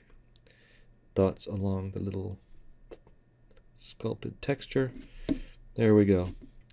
We do the same thing, and I notice I'm not too concerned about the light direction. I'm aware of it, but it's not stopping me from highlighting anything. All these things in the shadows need these highlights as well. But around the front, on the light side, we're really going to amp up the highlights on the leather to make it really visible. So on the back side, kind of like doing a bit of an edge highlight slash dry brush effect.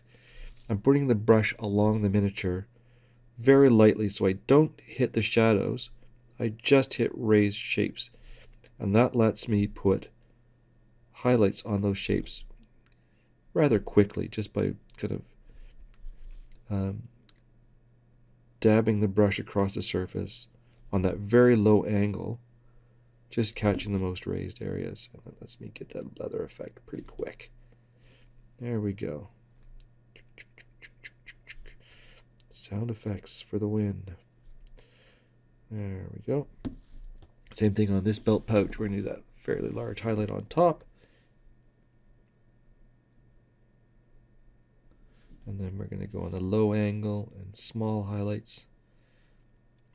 It's got like a, a sewn um, line on it where basically like these are these are poorly made, handmade um, leather pouches. Going to get the belts on the back as well as on the front. So there's the belts on the back. There we go. So that's the first round of leather highlighting on those shapes. Now, we also need to highlight the leather cloak. And how do we want to make that look somewhat different? So what I'm going to do is I'm going to take that um, that same russet brown color. I'm going to move some over, put it up by the skin tone. And instead of adding orange, I'm going to add tan skin tone to it. So that's going to give me a different looking color to highlight with. So that first color, okay, this first mix, I'll go and do something similar to what I just did on the other other area, other other leather areas, but I'm only going to use this color on this beat up looking cloak. So I'm catching all the raised areas on that.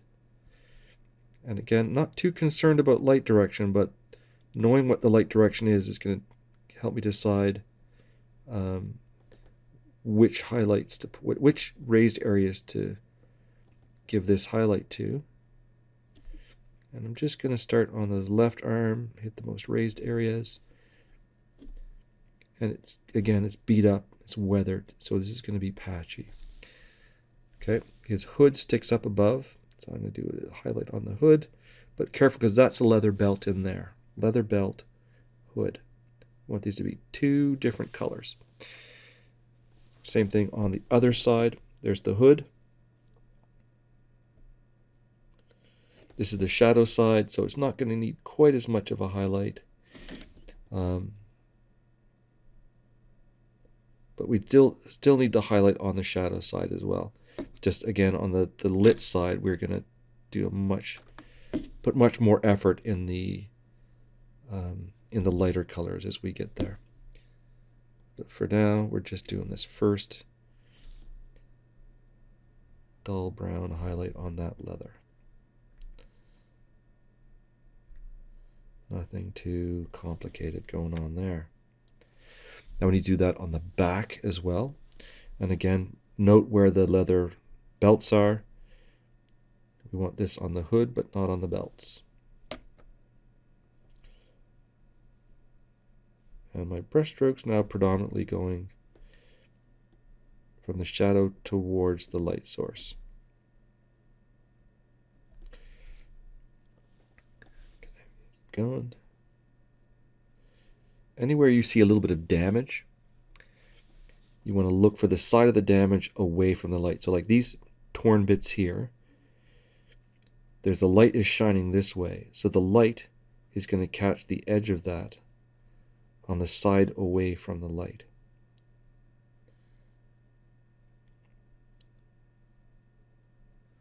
Like it's a little cup that's catching the light.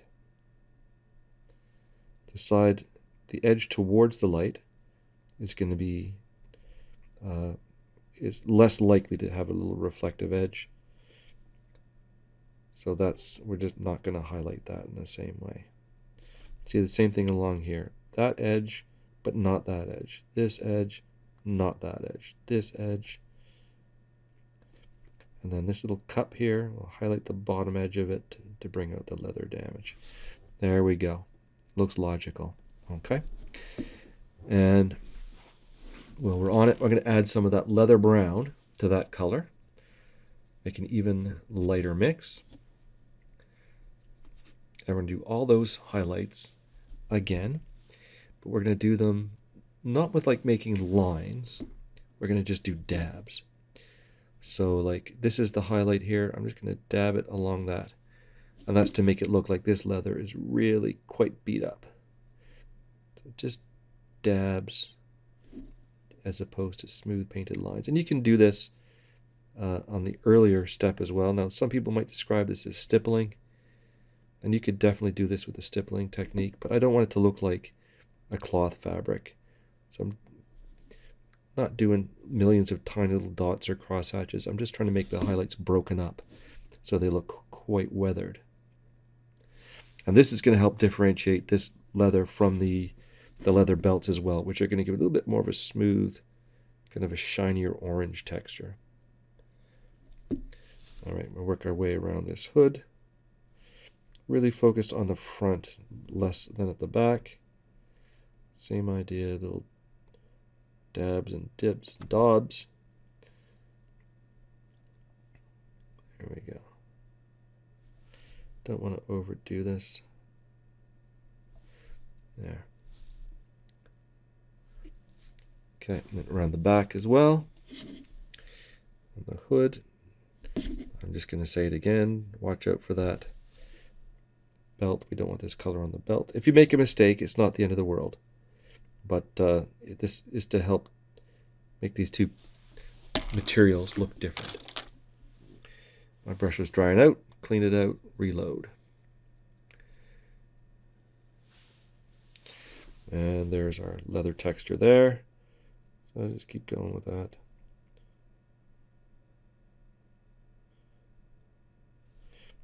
Very, very gently doing this. Especially where I just cleaned my brush. Now there's a little bit more water in the brush than there was. So it's a little bit more difficult difficult to control the size of the dots that I'm making.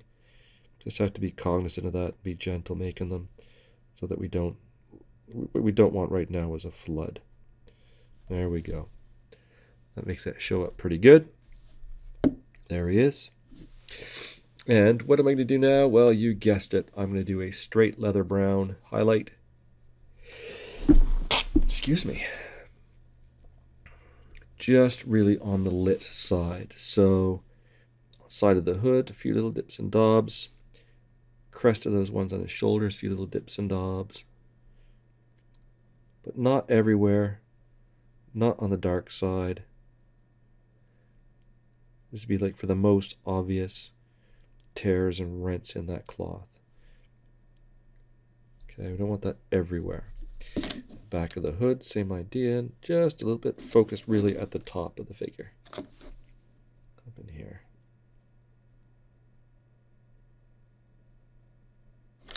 And these don't really absolutely have to line up with the ones you did last time.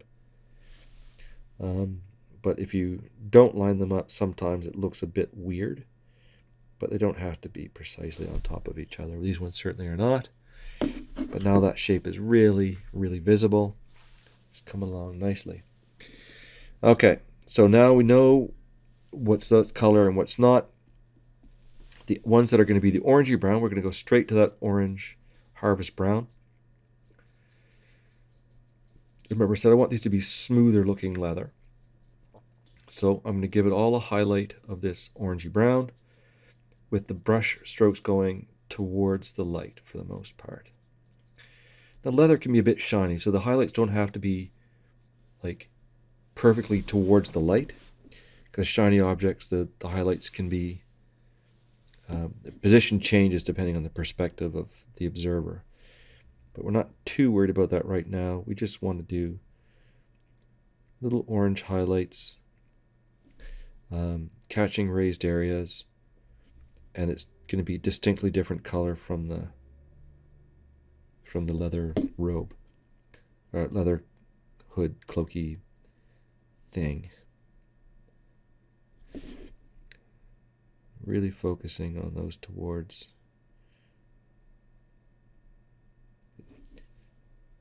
making them irregular but not like jagged sort of things like the the other rope. So it's going to look smoother than that other rope.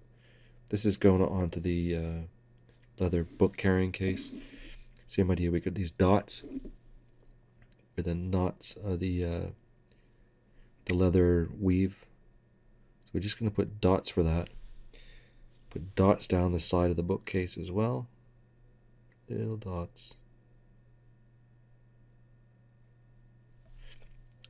And as you're doing this, you might be thinking, this is too light colored.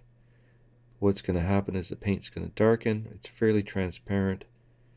And a lot of that is going to go away. So we're going to make that weave texture by making lines of highlights on like dots. That'll bring out that texture. Now, if you are not highlighting the dots exactly, it doesn't matter. If there was no texture here at all, you could completely fake it just by putting dots. Okay, so it doesn't have to line up perfectly with the texture that's there. If you have the skill to make it line up, go for it. But if not, just fake it. it doesn't have to be perfect.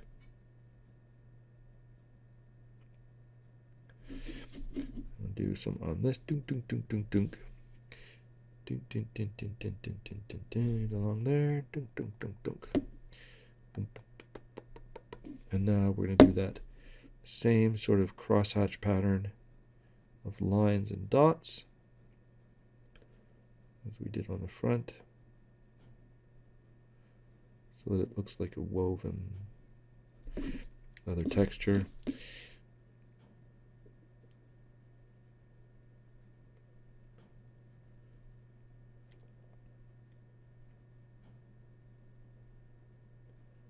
I probably did that much faster than a lot of people can do it. But uh, if you're watching this on YouTube, just pause the video and do it on your own time. If you're painting along, well, it's all right. I don't think there's too many people. Yeah, there we go. Okay, so same thing on the leather on the back on the belts. Smaller highlights because this is on the dark side. And on these belt pouches, light's coming this way, so the top of this belt pouch, belt pouch is going to get the light. Just a little bit, but the rest of it is not.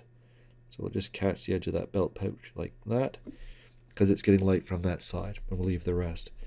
This one down here is going to get a little bit of light on this side, so we'll give it a little bit of highlighting, but it does not need to be highlighted all the way around in the back on the side which is not getting the light.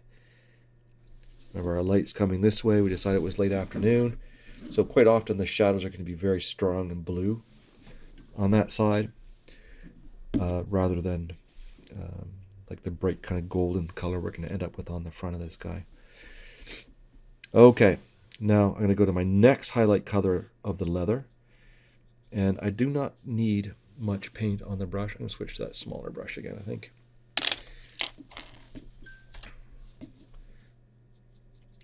And do some very small highlights of this orange. Again, this orange is going to dry quite dark. You don't need a lot of highlighting. And don't worry if it looks like it's too bright. Just bear in mind that it's going to darken up. So on this part up here by the belt at the top, I'm going to do just the most raised areas. I can get a little wiggle of the brush to give me a bit of a highlight of this orange.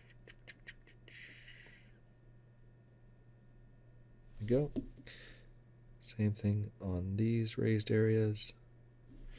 Right up up to the belt up at the shoulder.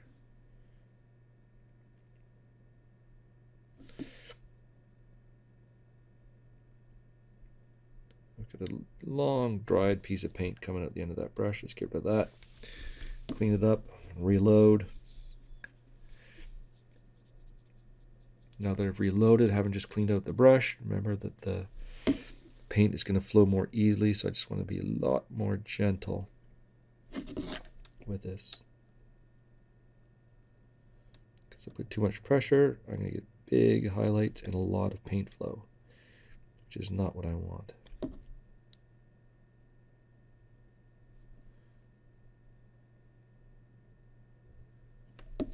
One of the ways to do this is to just kind of run your brush along and vary the pressure you put. And where you want more paint,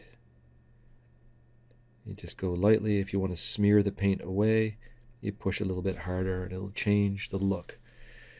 It'll all look a little bit different. And that organic variety is one of the things you want in a leather texture.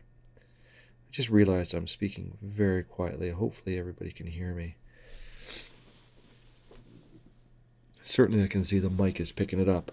So I'm not worried that it's not going to show up on the video. It might be hard for people to hear me today. I'm sure people would have told me by now if they couldn't hear me. Okay, on the back, that little top corner is going to catch the light just a touch. On that pouch, going to catch the top of that strap just a little bit.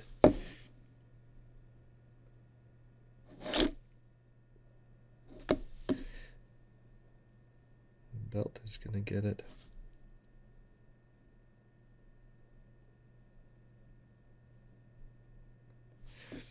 Of course, my paint is drying out now, so now I'm going to add a little bit of water to keep it flowing. Not too much, just that smallest, smallest hint. There we go. I feel like I want to do that highlight again. There, I did. Okay, there it is on the front on this side that pouch pouch is going to get a little bit more. More of those shapes. And I think there's a bit of leather holding this flask in place so I'm to put a little bit of leather color on that. All right we're making very good progress on this guy now. Okay so the next thing we're going to do is going to be the robe. His robe. And now I'm going to grab so leather brown was the color that we made the robe so this is going to be pretty easy. I'm going to start adding creamy ivory into that color and make it progressively lighter. I don't want to do a big jump. I want to do a little bit at a time, but eventually it's just going to be, oh, I grabbed golden blonde by mistake. Doesn't matter. Mix golden blonde in with it. It's going to have the same effect. So the robe is visible there. Don't completely cover over the shadow. And we want this robe to look quite battered, so it doesn't have to be beautiful smooth highlights. We can, in fact, we could even put like a, we know from this patching that there's a direction to the, um, to the cloth fabric. So we could actually even do like kind of hatch marking.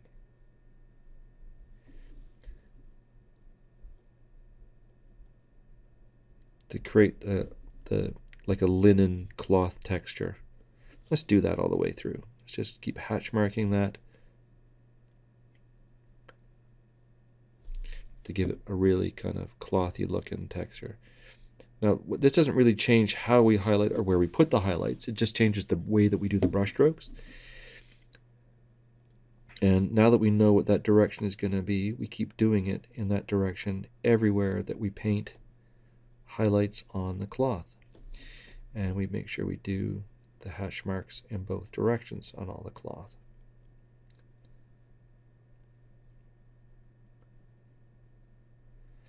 Oh, Lots of little hatch marks. Now, the highlights are going to be stronger on the raised areas of cloth where the light is catching like the the edges of the threads. But where the highlights are brightest, kind of the glare of the light source is going to make the that cloth texture less visible. So in our final highlights, we're going to stop making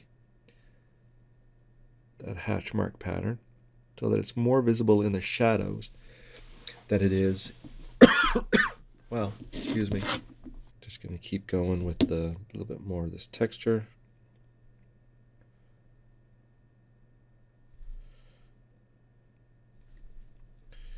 Uh, down here as well.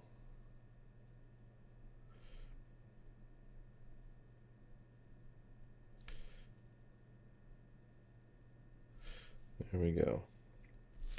So I'm not sure how well that shows up in camera, but uh, there's definitely like a hash marked texture on that cloth. I'm not really enjoying doing that with this particular brush, so I'm going to switch to a smaller brush. Ooh, you know brush is really good for this?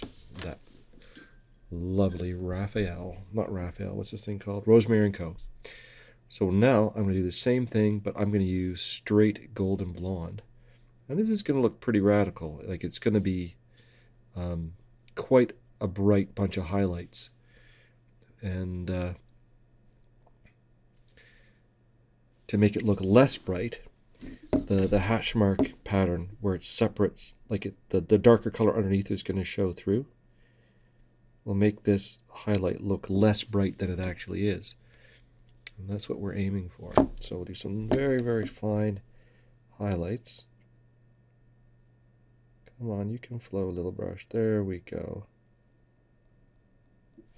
But because the lines are separated, the highlight does not look as bright as it would if we had just done a straight highlight of golden blonde over everything. Right? Because the dark is showing through. Now, how do we blend this at the end? Well, this pattern of cross hatching will show through a glaze. It'll be subtle, but it'll show through the glaze. So that's all we do. We do the hash mark pattern consistently. And then uh, when we glaze, it'll show through. A few lines this way. Notice I'm just focusing on kind of the main raised areas. Reach down to the shadow a short way and then pull the brush out. And that way when we're done, the hash mark pattern will show up really well.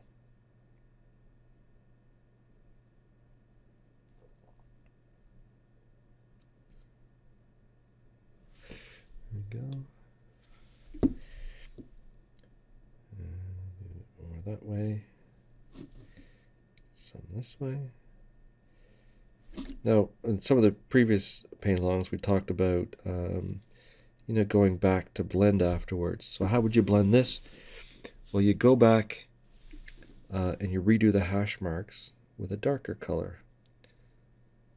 And that'll bring back your shadows. If you've done too many hash marks and the shadows have been lost, You just go back and redo them with a darker color, and they come back. I'll do that in one second just for as an example.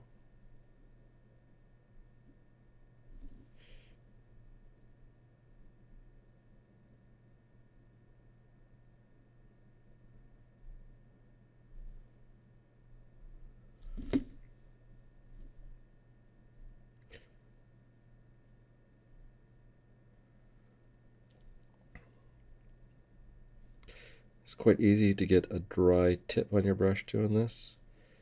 And if you do, just stop. Take that dry tip of paint off gently with your thumbnail. Very gently scrape it away. Clean off your brush. And then go back and carry on. So now I'm going to bring, go back to a darker color.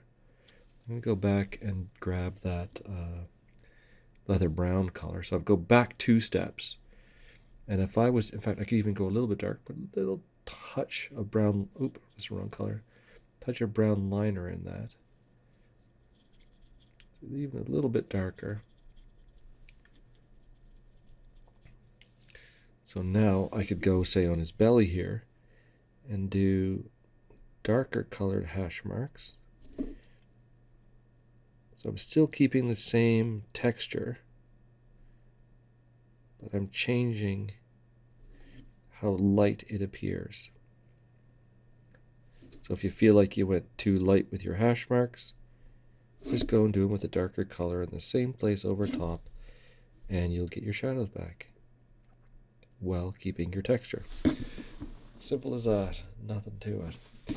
Okay, uh, I want to go, I think, I'm going to go all the way up to creamy this time. Not going to do a huge amount of this, just going to do this mainly up on his belly.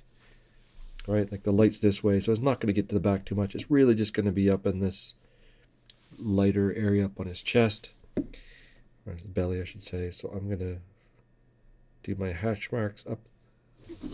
Try to do it on the camera this time. Do those hatch marks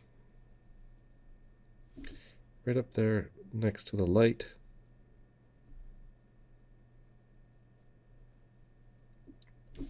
Give us the impression of that highlight that big round belly of his.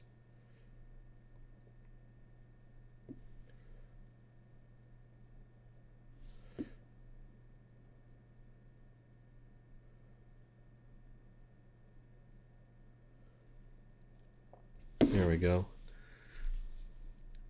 So now I think what I'll do for my glaze, I think I'll just glaze it with leather brown again. It's not looking like the whitest, dirty white robe, but it's, uh, I'm kind of liking it. So I'm going to thin my leather brown. Now, this is a little bit more of a challenge because we already did a wash of the um, uh, hmm, brown liner. So I don't want to let this flow in and cover the brown liner. So particularly like areas like that where the brown liner is already in there. I'm going to work my glaze down to those areas, but then pull it off to the side so that it does not really darken those areas too much. Go back and pull my glaze out. And you can see as it's drying that texture it changes the tint, but the texture still, shows through there. And my glaze, so it's making it all look a little bit smoother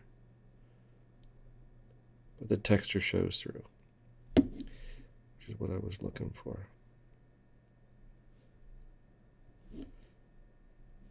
How we do it on time? Oh, pretty good, pretty good. Okay.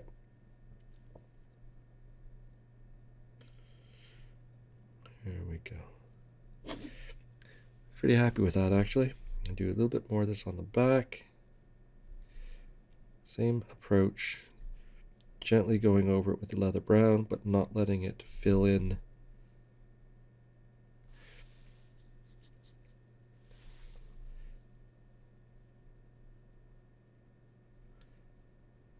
where the uh, brown liner was. Unless I see something like a stain from the brown liner that when I get get rid of. Don't, not too worried about that because this guy's pretty dirty. Stains are not a problem. There we go. It's looking pretty good. I'm happy with that. Now, one thing we didn't do that we could do, we could do a little bit of kind of damage on the leather. So let's do a little bit of damage on the leather belts. I'm going to grab some golden blonde, mix it in with the lighter orange color that I used. And we're going to do a little bit of scuff damage think we're going to do that on the belts. So these belts, you can see where they're all kind of cut up. I'm just going to put little cuts and scratches in a few places on different angles, different spots on the belt.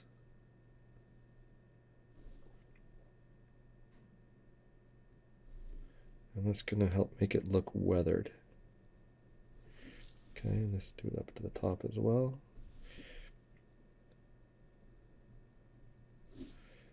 Tiny little scratches and marks. Okay. Now the piece de resistance on this is to go back and do it with the brown liner, the thin brown liner. Not straight brown liner, thin. And we're going to do that with a nice sharp tip brush and we're going to clean most of it off the brush. So we're just making little tiny lines like that. Very, very thin lines, okay? And then we're going to look for those marks that we just put on there Remember what I said a few minutes ago about the uh, the lower half of a scratch catching the light? So we look for our light direction. Let's assume that our light's coming down from above. So anywhere you put one of those marks, you can put like darker scratch marks above it with these tiny, tiny little lines with the brown liner. And it's going to make those look like cuts and gouges that are catching the light. Okay, and then the damage just shows up a bit better. These are tiny, tiny lines, okay, like nothing lines. And they should go all higgledy-piggledy, all different directions, but be related to the damage you did earlier. And that's going to make that leather texture look really, really good. Okay, that's enough of that. We got our off-white dirty robe. Uh, what do we need to do? We need to do the rope. So let's do, let's grab golden blonde and we'll mix the golden blonde with, uh, we had this leather color we did earlier. Let's mix some golden blonde into that. And this is going to be our first highlight on the rope. Let's give that a little bit more water, keep it flowing.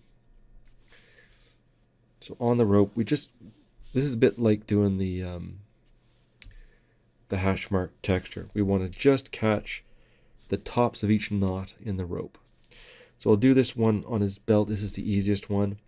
So I'm looking for the light is this way. So from the light direction, just going to come in and touch each knot and link of the rope where the light would catch this light colored material. And it doesn't have to be perfectly regular because the rope's not perfectly regular. It's a natural material, a hemp rope or something like that, pretty beat up. But by coming in from the light direction, just doing little dabs and dips on the tip, you're going to get a nicer, um, it's going to help um, re-emphasize the light direction. Keep the light direction in mind. Just do a little touch on each of those shapes. Same thing on the rope up here on his, is there rope on the back? Not really, that's visible. Oh, there's ropes on the keg. We'll do that in a minute. And then the rope around, oh, under his arm. That's where the other rope is, down there. Dunk, dunk, dunk, dunk. Just a little tiny bit down there. And then this rope on his chest. This one. Come in from the light direction again. And just put a daub of paint on the sculpt, sculpted shapes.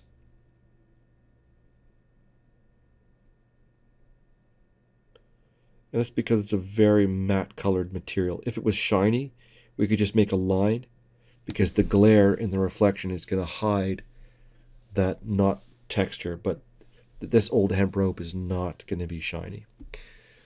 And I'm going to go straight golden blonde and do the same thing again, but not everywhere. Like these knots underneath here are not in the direct light, so they're not going to get straight golden blonde.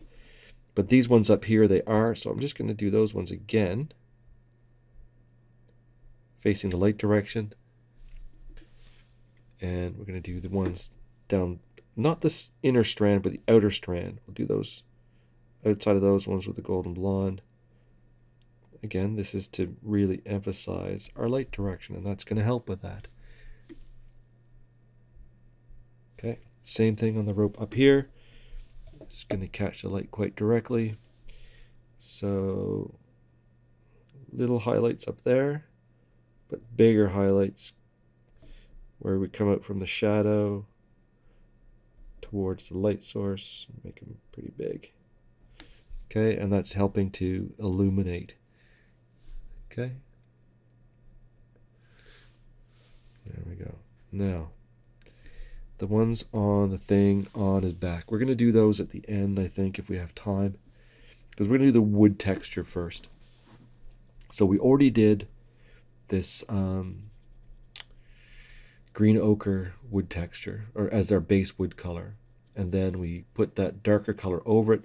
So we're going to come back and paint the ochre again to bring back the, the look of the wood. But what I'm going to do is just paint lines where there's wood texture, I'm just going to paint lines. It doesn't matter if it matches the sculpted wood texture, but I'm painting lines parallel to the wood texture on the side that the light is coming towards the Mini. not everywhere, just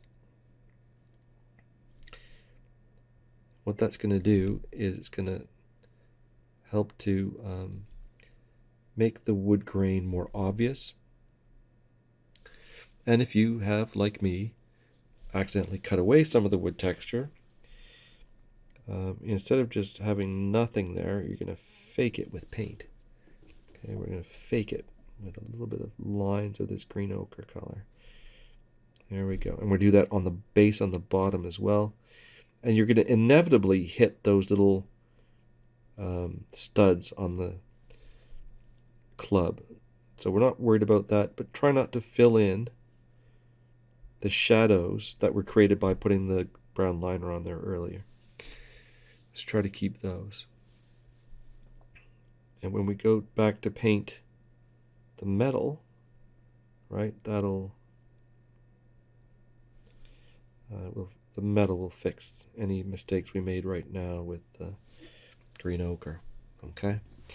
Now, golden blonde, my favorite, gets mixed into the green ochre. And this is going to give it like a, a natural, warm, yellowy color, much like natural wood. Okay. And we'll do the same thing again, but try to make smaller lines. And really focus on the side towards the light.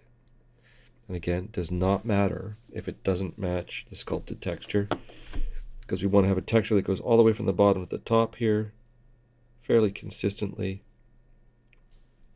Even if, like me, oops, you accidentally removed it when you were removing mold lines.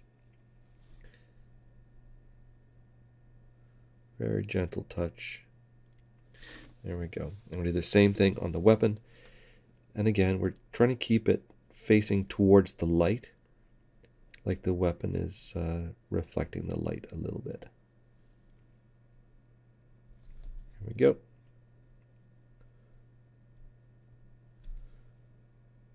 So that's enough for that weapon to look like it's made of wood.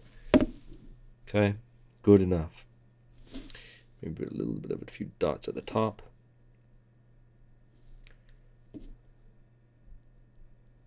There we go. That's where that edge might catch a bit of light. Okay, so that's all good. He's looking pretty cool now. I like him. So now let's rotate him around and look at this barrel on his back. So the barrel on his back is the same green ochre color. So we're going to do that exact same thing again.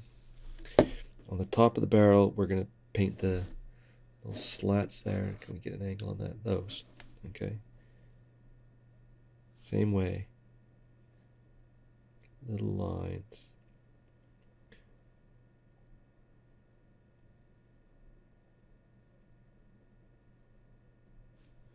Now these bits around the outside are barrel staves, I think they're called.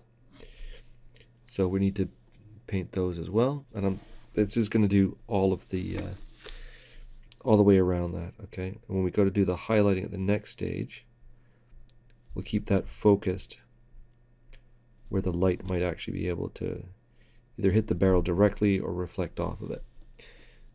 And we'll do this down below as well. Now this is like a sawn log texture. Ignore that. Make the lines vertically.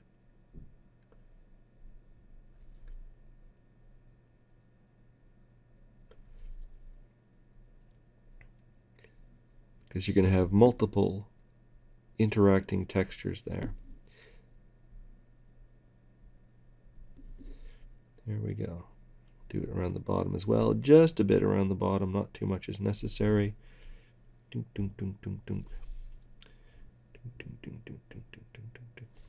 Now the back of this, not much light is going to hit that. So go to our golden blonde mixture that we made for the, the, the weapon, grab that. The light coming this way Okay. Um, where's the angle?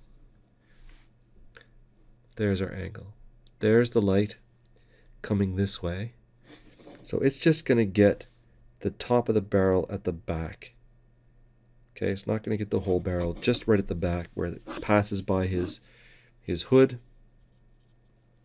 So it's going to catch out here a little bit. We'll just do some lines. Like that. Now, how do we make wood look really good? There's a couple of different ways. One is you can, um, oh, I forgot to do that rope. Let's do that rope very quickly. Uh, what should we use for the rope? Um, I'm going to put some leather brown into that mixture I already made. Darken it down a little bit. There we go. And that's what we'll use for the rope on the back. The rope on the back does not need a very strong highlight. Just needs that texture to show up a little bit.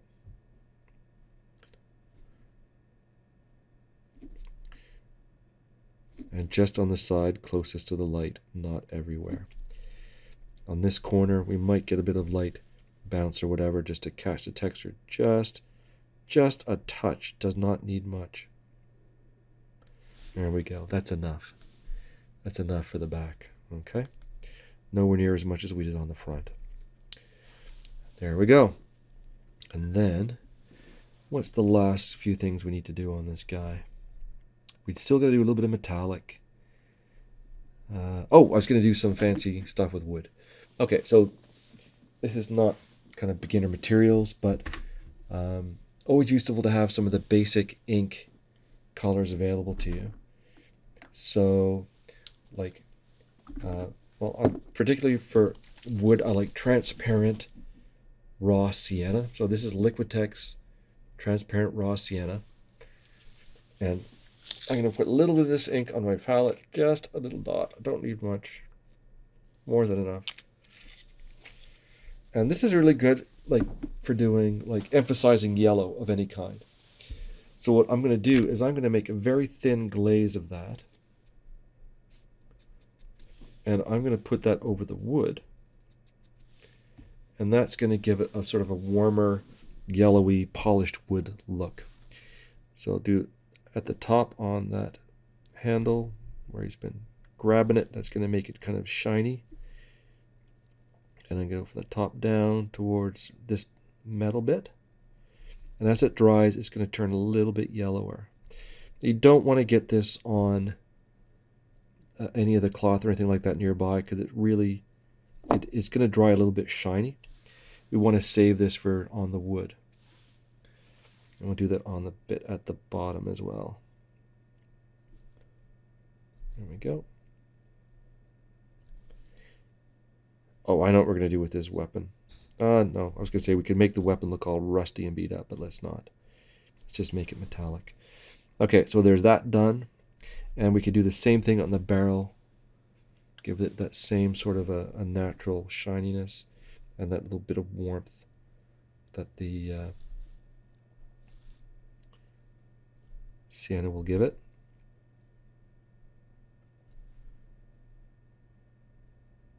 Okay. Gives it that little bit of a warm, woody look. Just realized that we haven't highlighted the pages of the book. Let's grab a little bit of the creamy ivory and just a little bit right in there. We'll just now don't do the one which is like that's the lid, right? You're going to go in from the lid. Oh, no, I'm wrong. That's a book too, right there. Just a little bit of that on those pages in there. And if you made a mess like I did, you can just clean it up with a little bit of your leathery orange color. And it'll be like it never happened. Doom, doom, doom. There, gone. And now the book pages stand out pretty well. Okay, uh, what other silliness can we do? Oh, making leathers look different. So let's use a little bit of transparent burnt umber. Liquitex transparent burnt umber. Love these Liquitex inks. Just need the tiniest touch. See if I can get it open. There we go. Usually when I do that process, I end up covered in ink. If you go on my Facebook page, you can see lots of pictures of ink spills usually ink all over me. All right, so now what we're going to do, we're going to grab that. So this is going to make a, really dark, dark, reddy brown. Okay, I'll put a little bit of my finger so you can see what it looks like. Dark red brown. So when I thin this and make a glaze out of it, it's going to turn uh, any leather over, I put it over a redder color. And that's what I want to do. So I'm going to take one of those straps on the, um, so here's what I'm working with. Okay, just a thin, thin color. And I'm to make, put this as a glaze over one of the straps. So we're to do it over this strap, not this one. Okay, so the one that goes up over his left shoulder, right from our perspective. I'm to glaze this over that. And it's to subtly change the look of that leather making it a bit more red. Okay. And as it dries, it's going to darken up as usual. And I'm going to do these belt pouches, that same color. Now that belt comes up over his shoulder, so we'll do that there as well.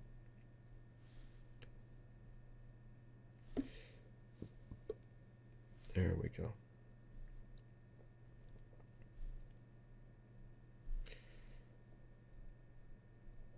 And now we've got a different color going on between those two sets of leather belts. The one going this way is going to be a distinctly different color from the other one.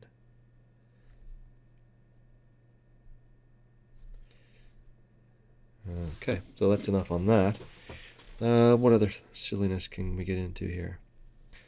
I guess we could do the metallics now. I'm just going to grab a basic metallic color. Doesn't really matter what it is. Uh, in fact, I don't even know what it's going to be. I don't even know what metallics I've got on the table here. Uh, looks like Hone Steel is our winner for today. I think that's Hone Steel. Yes, Hone Steel is going to be our metallic. And then we're going to rust it. So our Hone Steel. Oh yeah, we got lots of time. Okay, Hone Steel, put that in the wet palette. The wet palette does not really like metallic paints, but we're only going to have it in there for a few seconds. Usually, as soon as you start adding water to metallics, they kind of fall apart on you. Don't need very much. So what I'm going to do, I'm using a synthetic brush for this. And I'm going to get those metallic bits. So the bits of metal on that um, clubber. I'm going to get one coat of this. It doesn't have to be perfect because I'm going to rust it to bits. Have camera. Here we go. Do that. And up there. Okay. We're going to put, uh, we're going to actually make a darker metal to do the bands on the, the barrel. But while this is still kind of a lighter color, I'm going to do each of these dots of metal that are like the the studs in the club. You do them.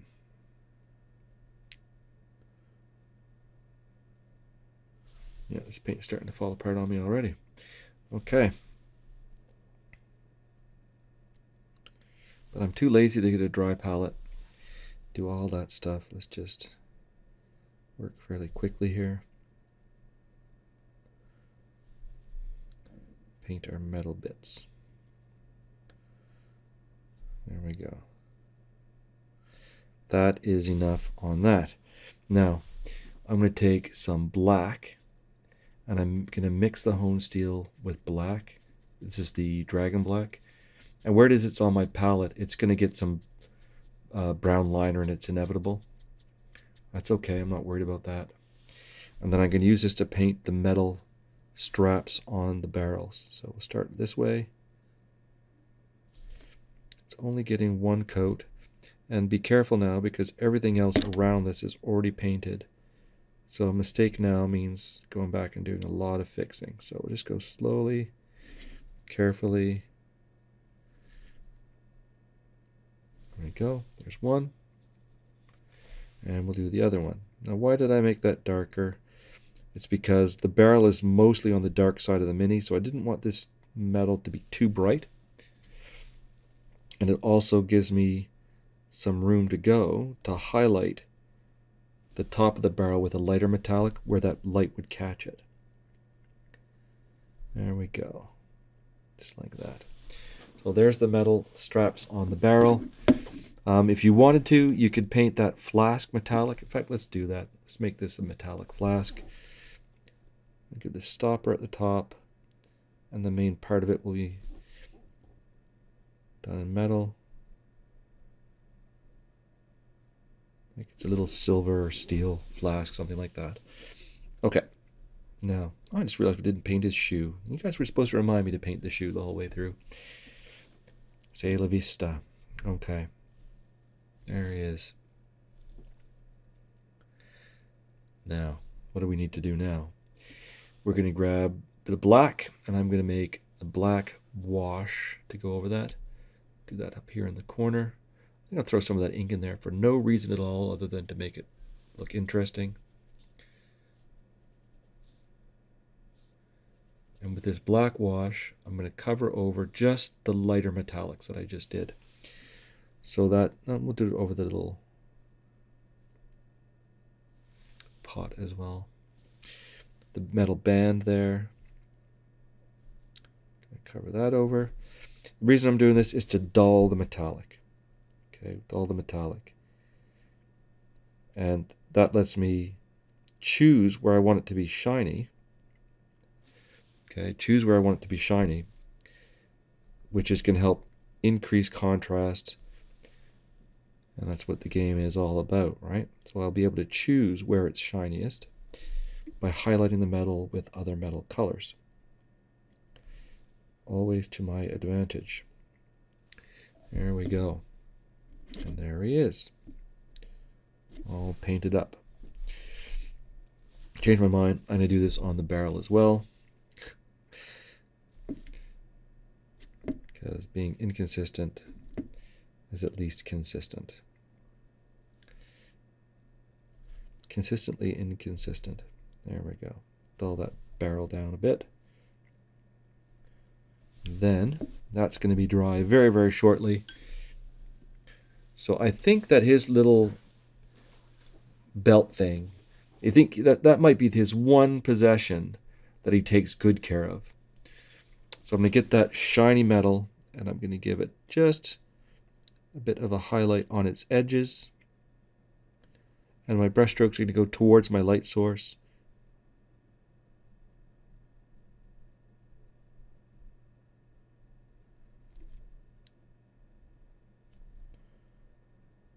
So now his, his one shiny possession looks shiny.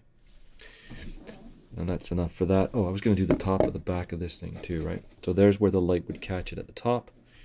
I'm just going to do a little edge highlight right on the top where the light would catch that. There we go. Now that shiny top on the barrel. But barrels, that metal is almost always rusted, pitted, beat up, and gross looking.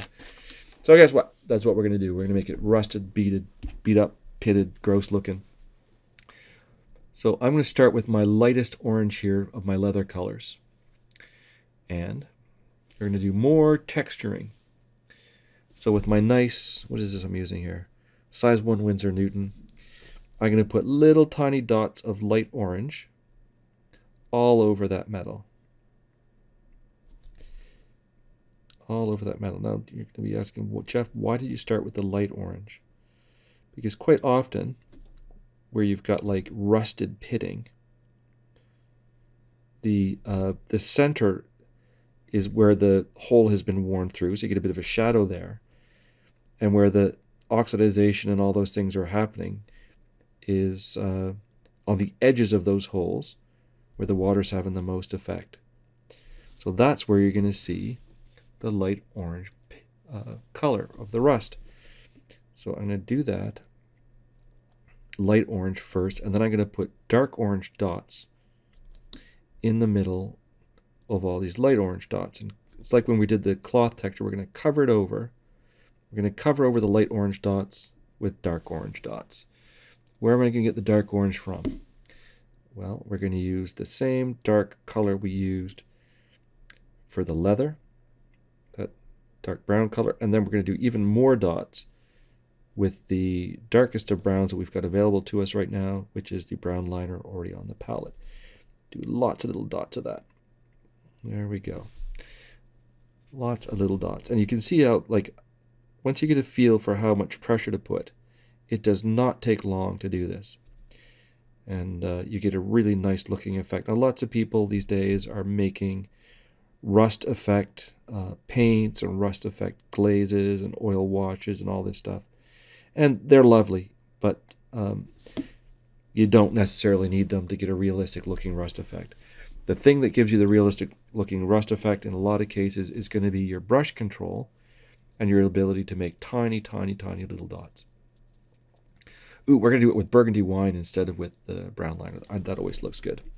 Okay, so here's my dried now orange dots. They're barely visible, but it's definitely giving it a rusty texture. And now we're just going to put little tiny dots of darker brown in the middle of it.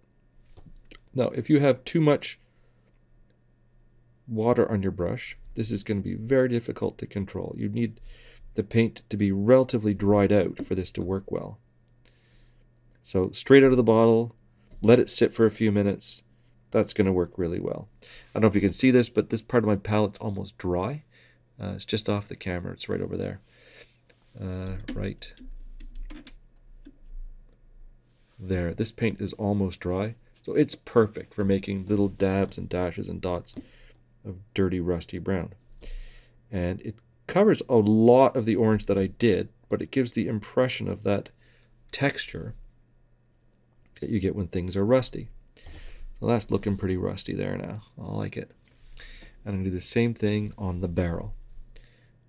It's easier to make dots if you make noises, so I encourage it. What you may find is that you actually start to make a regular pattern of dots, which is not what we want. Rust does not work that way. Um, you're going to get less rust, less rust in the areas where it's handled frequently, and skin oil protects the metal a little bit, or it just rubs off the rust and it polishes the metal a little bit. Where it doesn't get handled a lot, and where water pools is where you're going to get rust, or where it's damaged, you're going to get rust. So those are the things to look for. And I don't think this guy uses his mace very often. I think he mostly uses it as like something to lean on when he's drunk. So we can put lots of little rusty dots on these studs. There we go. It's kind of rusty looking now.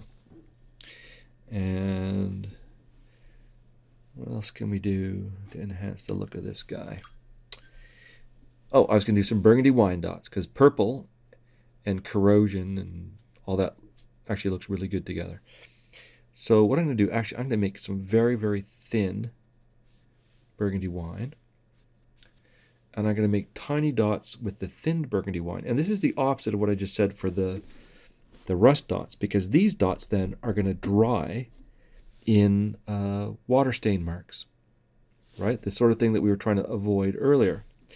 So each of these tiny little uh, dots that I make, and the paint is very thin, okay, when they dry, they're going to make water stains, coffee stain marks, that you'll be able to see the rust texture through. So tiny little dots of this purple, mostly in the area where the, sun, the, the light is not going to hit, gives it an interesting color variety, and as it dries, the rust texture will show through and it enhances that what your brain interprets as being rusty with that extra little bit of a purple tinge. There we go.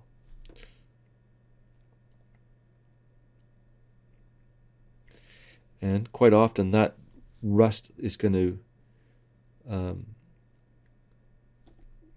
so I'm going to put some, it's going to, water's going to move it. So I'm going to put a few little stains along little bits of the side of the, um, the barrel as so like some water's been sitting on it, a little bit of rust has gotten onto the rope. And then I'm going to do a few little drips and drabs of this purple color right down the middle of his shirt. Like he's been imbibing. Sorry, there we go. Just putting a few.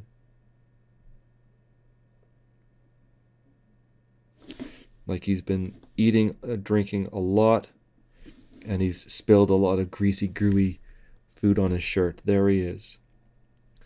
Okay? Not very kind to him or to his reputation, but I don't think he cares at this point. He's a happy, drunken old fella. There we go. Uh, let's call that guy done. So the last thing to do So done in terms of painting details and all the silliness, but let's, um, we're going to paint the base. So grab a brush, we're going to grab our dragon black, and I'm going to paint the rim of his base black. Usually I'd paint the, the gravel first. I'll do that. I'll do that another time. I might. I haven't decided. If I, no, probably wouldn't be any grass around this guy. He's probably standing outside a tavern somewhere. So I could probably just dry brush it like light brown over the sand I put on the base. And then he would be essentially a painted dude. There, looking pretty good. Yeah, let's do that. Let's just put... Uh... Oh, I forgot to paint his foot still. All right, let's do the foot. You'll see how fast this leather technique works. We'll do a quick highlight on the leather shoe. Dunk, dunk, dunk, dunk, dunk, dunk, dunk, dunk, dunk. Grab the next orange brown. Get a little bit of a leather highlight on that. A little bit of the next orange, just, just a touch of it. There we go, and we can call that shoe kind of done. Oh, look, I put too much. What do we do when we put too much? Just wipe it off. Okay, just wipe it off. It'll be fine. Put a line of black back under that shoe. Dunk, dunk, dunk, dunk, like that. And now it looks appropriate. A little bit of a line of black around the toes. There we go. Done. Oh, I keep saying done and it's not. We got to do a little bit of work on his stones. On the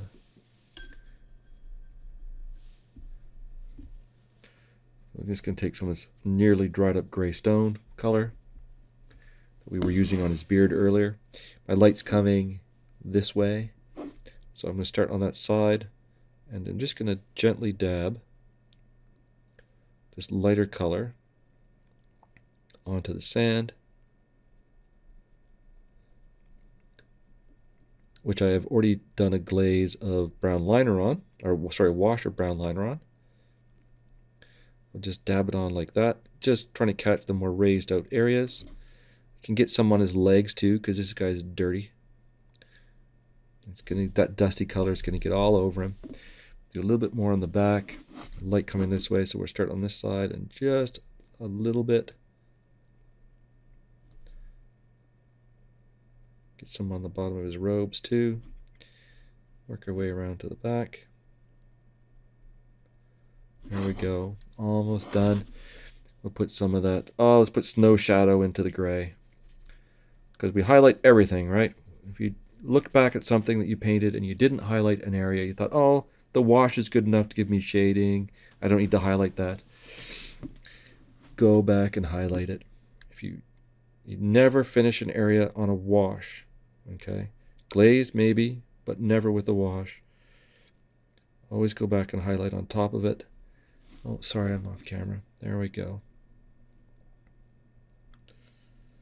So you can see I'm highlighting more towards the light direction with these little dabs and dots, which is going to help reinforce the idea of what direction the light is going. I'm getting a little bit of that on his toes and everywhere else because this guy is dirty. I know I've said he's dirty a whole bunch of times, but he really is a filthy fella.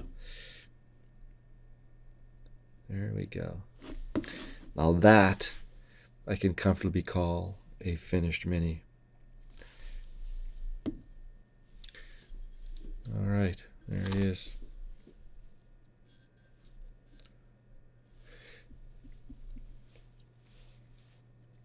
Pretty happy with that. Well, I hope that was uh, an interesting paint along. If you have any questions, or if you're watching this on YouTube and you have questions, do not hesitate to reach out to me, ask questions. Now, I don't read YouTube comments on the videos or anything like that, so if you do want to ask a question, you you just you have to message me through Facebook or through uh, my website, or you can message me on the Discord, and I will get back in touch with you. But I I don't spend a lot of time on YouTube comments. Okay, so I would probably miss it if you asked me a question there. And there he is, done. Done, and now I can go for dinner.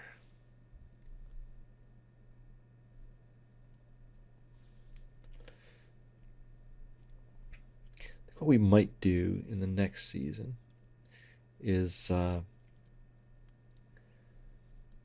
do this level and then the next day maybe do a level up and take him because this is a pretty good foundation for an advanced paint job there's certain things that haven't been done like airbrushing in theme colors or really enhancing the lighting effects or backlighting or that kind of stuff but maybe what we'll do next year is uh, take things to the next level as well. Not on the same day, but like do a class the next day or paint along the next day and take him up to the next level.